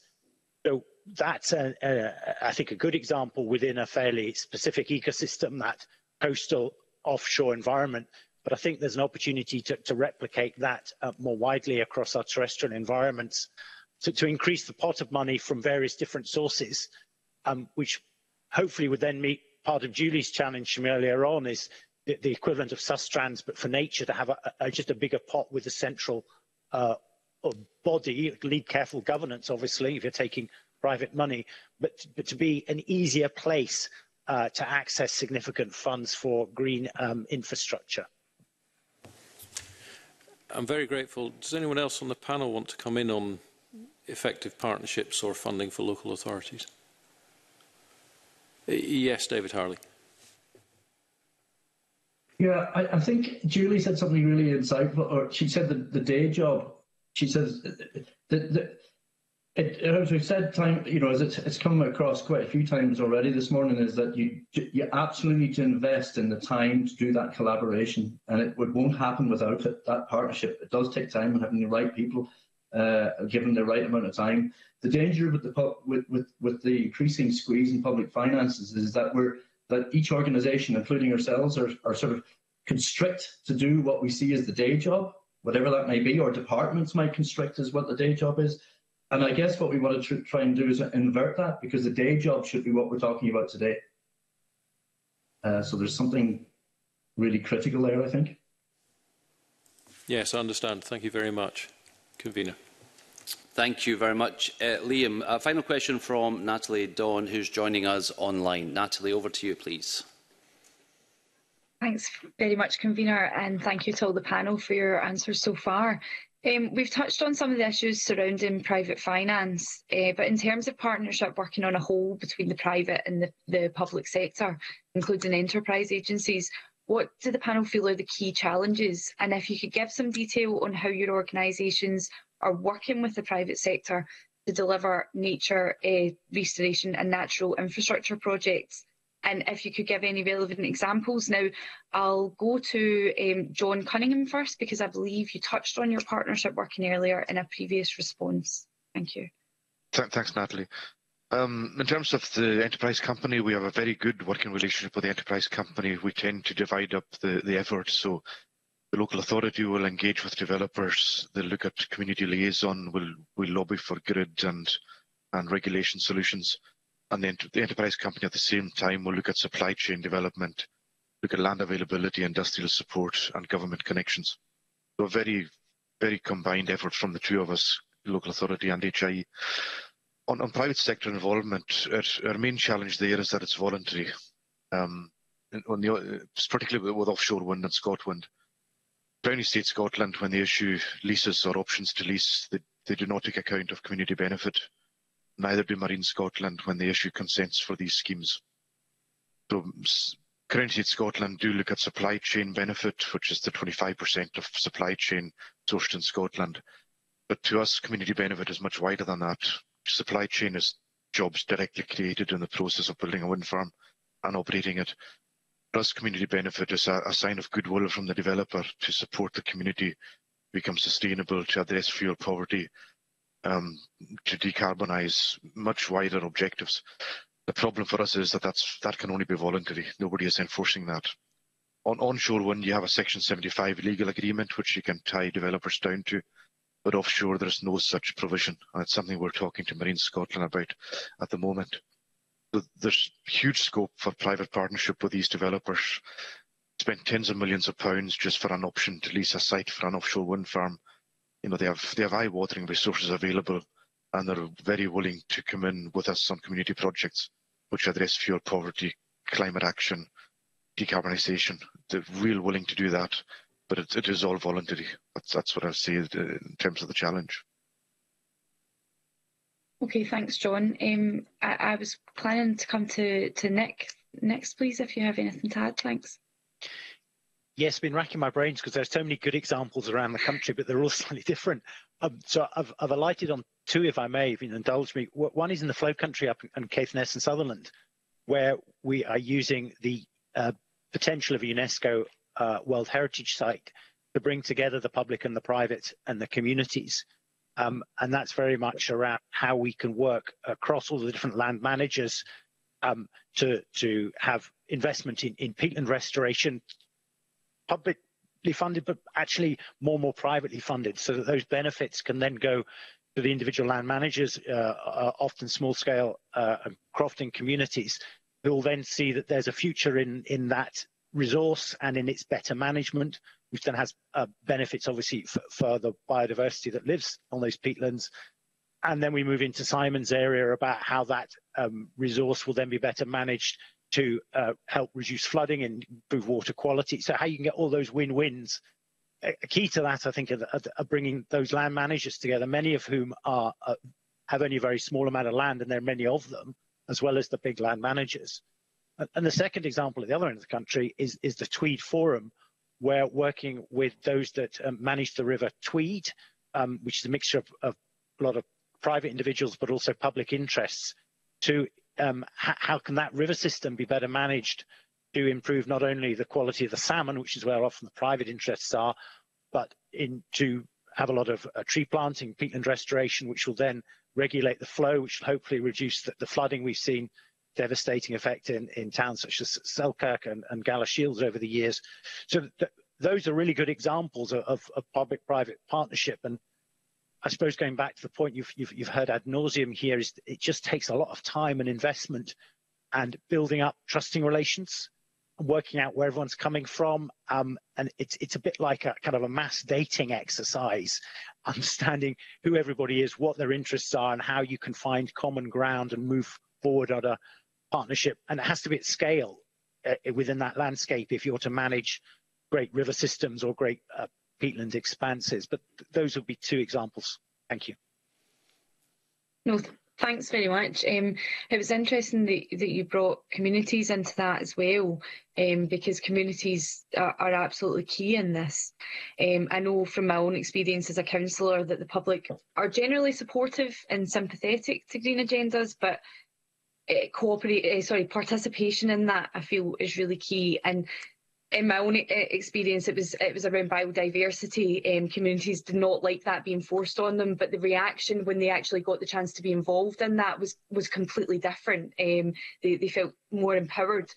So I'll maybe come on to how well you feel that your organisations and councils involve local communities in decision making um, on these projects and how you feel they support community led initiatives. Um, Nick, I'll maybe come to you first, but I'm going to bring a few other members of the panel in. Yeah, our, our experience, and this has been a kind of, it's taken us a while to get here, is that, that the most successful projects are the ones where you bring in the community and listen to what they want soonest. To give you a good example, we've been doing some retrofitting some green infrastructure in some of the more deprived parts of Glasgow. And we go in initially saying, oh, what, what you all need is this. And then we say, no, no, no, that's not how we do this. We come in and say, these are the broad parameters. We have some money available. What we'd like to do is help you uh, refashion what is often a concrete area into something green. What do you want? And they say, oh, well, we want somewhere for the kids to play. We want this, we want that. And, and then we build that in right from the start. And what we end up with is something maybe that we wouldn't have, as experts, thought we'd have. But because it's what the community wants, it's there for a success. And crucially, they then have buy-in and they want to manage it. It becomes them. So spending quite a lot of money on the community engagement and building before we do the hard work on the ground is is the only way to success. Otherwise, you end up with a complete white elephant and, and nobody's happy. So that we have learned hard that it's the way to do it, and that's true whether you're talking uh, Cardonald in, in Glasgow or whether you're talking some of the more remote, sparsely populated rural areas, getting the buy-in from the community so they can see the benefit and it, it becomes theirs and it helps deliver all these other things, but it becomes their their thing and their contribution and the place that they want to live in. Absolutely. Okay, thanks very much. Thank you. Um, could I could I go to Julie next on that, please? Yes, um, absolutely. I'd like to agree with all the points about the buy-in. My experience in terms of doing community consultation with flooding and um, river restoration type projects would be that if you present engineering drawings, um, they are quite frightening for people to look at because lots of lines and lots of numbers and lots of levels. Um, whereas if you talk about, if you present um, sketches and um, again, I'm going to go back you know, to proper green plans and, and then you build with them with sort of sticky notes and you get their ideas. It's very interactive. Uh, you get a much better um, solution in the end of the day, and it's much more welcomed by the community. Again, we go back to this issue that it's time, it can, it can be quite um, time consuming to do a really good engagement with the community rather than an information session. So there's quite a difference between just arriving and saying, this is what we're going to do, what do you think? Rather than what Nick was talking about, which is much more collaborative and you bring and you know, having people sitting around tables and dream and coming up with really exciting ideas and then building that and having the funds to build that into the schemes. Because sometimes again we go back if we're talking about surface water management or flooding schemes we've got cost benefit and funding. It's it's how do we get the funds to do the things the community really want to do? um, which might be have a barbecue area or might be have a pond dipping platform for the local school. But when we are measuring cost benefits, perhaps that doesn't come through. So it's, there is this complexity when it comes to flood schemes, which is the cost, how you measure cost benefit. And it's understanding the benefits of all of these other, what are, are, is really quite small amounts of money, but it's a huge impact for the community, whether there's a little bridge and you can play poo sticks, for example, or whether there's an ugly bridge that's just functional. So it's that difference. And very much working with community is, is, is absolutely key to getting the ultimate buy-in to that new landscape. And they can be quite you know, concerned about change. People take change very differently, um, and you have to manage that as well um, and reassure them that ultimately show them what ultimately, even if it might take three or four years for the plants to start to grow, that ultimately the vision of where you're going is really important. So yeah, um, we, we do do a lot of community work in our parks department and we build, we're going to build, we have we're building that into all of our Green Blue Neighbourhood projects in Edinburgh, the community consultation side, or I should say engagement, not um, I'm, I'm always nervous about using the word consultation because it sounds like you're telling them what they're going to get, whereas you really want to engage them in the process. No, absolutely. And just talking about consultation there, that was going to be my next point, because obviously you said that it's no use just sort of asking for their opinion on, on what proposals there are. But also we've talked a lot in the committee about sort of consultation fatigue and how it, perhaps consultations don't always reach everyone. Um, so it, would you agree it's about finding new ways to interact with the communities, interact and engage with the communities as well? Absolutely, because um, obviously you get people who are able to come out in the evenings, and those people maybe have small children who can't come out, or maybe they work night shift, or there's a whole thousand reasons why you don't get a good spread. So, you know, small um, YouTube videos might bring you the, te the teenage population. I, I remember a community consultation I did in Craigmillar. The teenagers came and stood on the other side of the road, sort of so a group of them, but they wouldn't come in because it wasn't cool to come into a council consultation event. So I went across and spoke to them across the road um, because that seemed the only way to interact. But there's also, you know, the bit, doing things online, I think is absolutely key, using all the different ways of reaching people so that you can get all the parts of community and not just the people who are able to come out at seven o'clock in an evening, which is actually quite a small, distinct group. So very important. Yeah. Thank you. Thanks very much. Um, I, I know we're short for time. Unless any of the other uh, members of the panel would like to come in on those points, I'm happy to pass back to the convener. Thank you. Oh, if I could just... Um, Please, Simon, go ahead, yes wouldn't mind just finishing on uh, a fantastic example which just pulls together exactly what Nick and Julie have just talked about. So uh, we're developing a, uh, well, trying to deal with a problem, a historical problem in Dundee, in an area of Dundee called St Mary's. So we have taken exactly what Nick has described as in terms of don't engage with the community at the point you've made a decision, but go and ask them how they can help and what we can do there. So uh, there's a scheme at St Mary's in Dundee which uh, really embraces a lot of what we've spoken about on the panel today about engagement of, of, of communities, about nature-based solutions, about placemaking, and also dealing with, um, if we're honest, the underlying problem we've got there, which is one of flooding.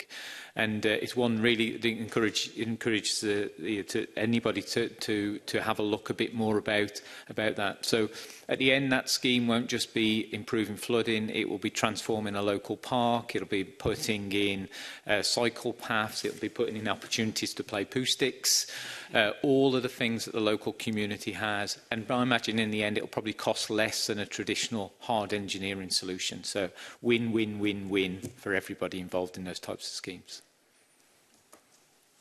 Thank you. Thank you for that example. Thank you very much, uh, Natalie. That, that does bring us to the end of our allocated time. So let me thank our guests uh, this morning for uh, a, a wide-ranging uh, overview of, of the main challenges, the opportunities and uh, some of the policy requests you've mentioned. It's uh, very much appreciated and it will help inform the committee when we publish our final report. So thank you once again. Enjoy the rest of your day. Uh, that concludes our public meeting and we will now move into private session. Thank you.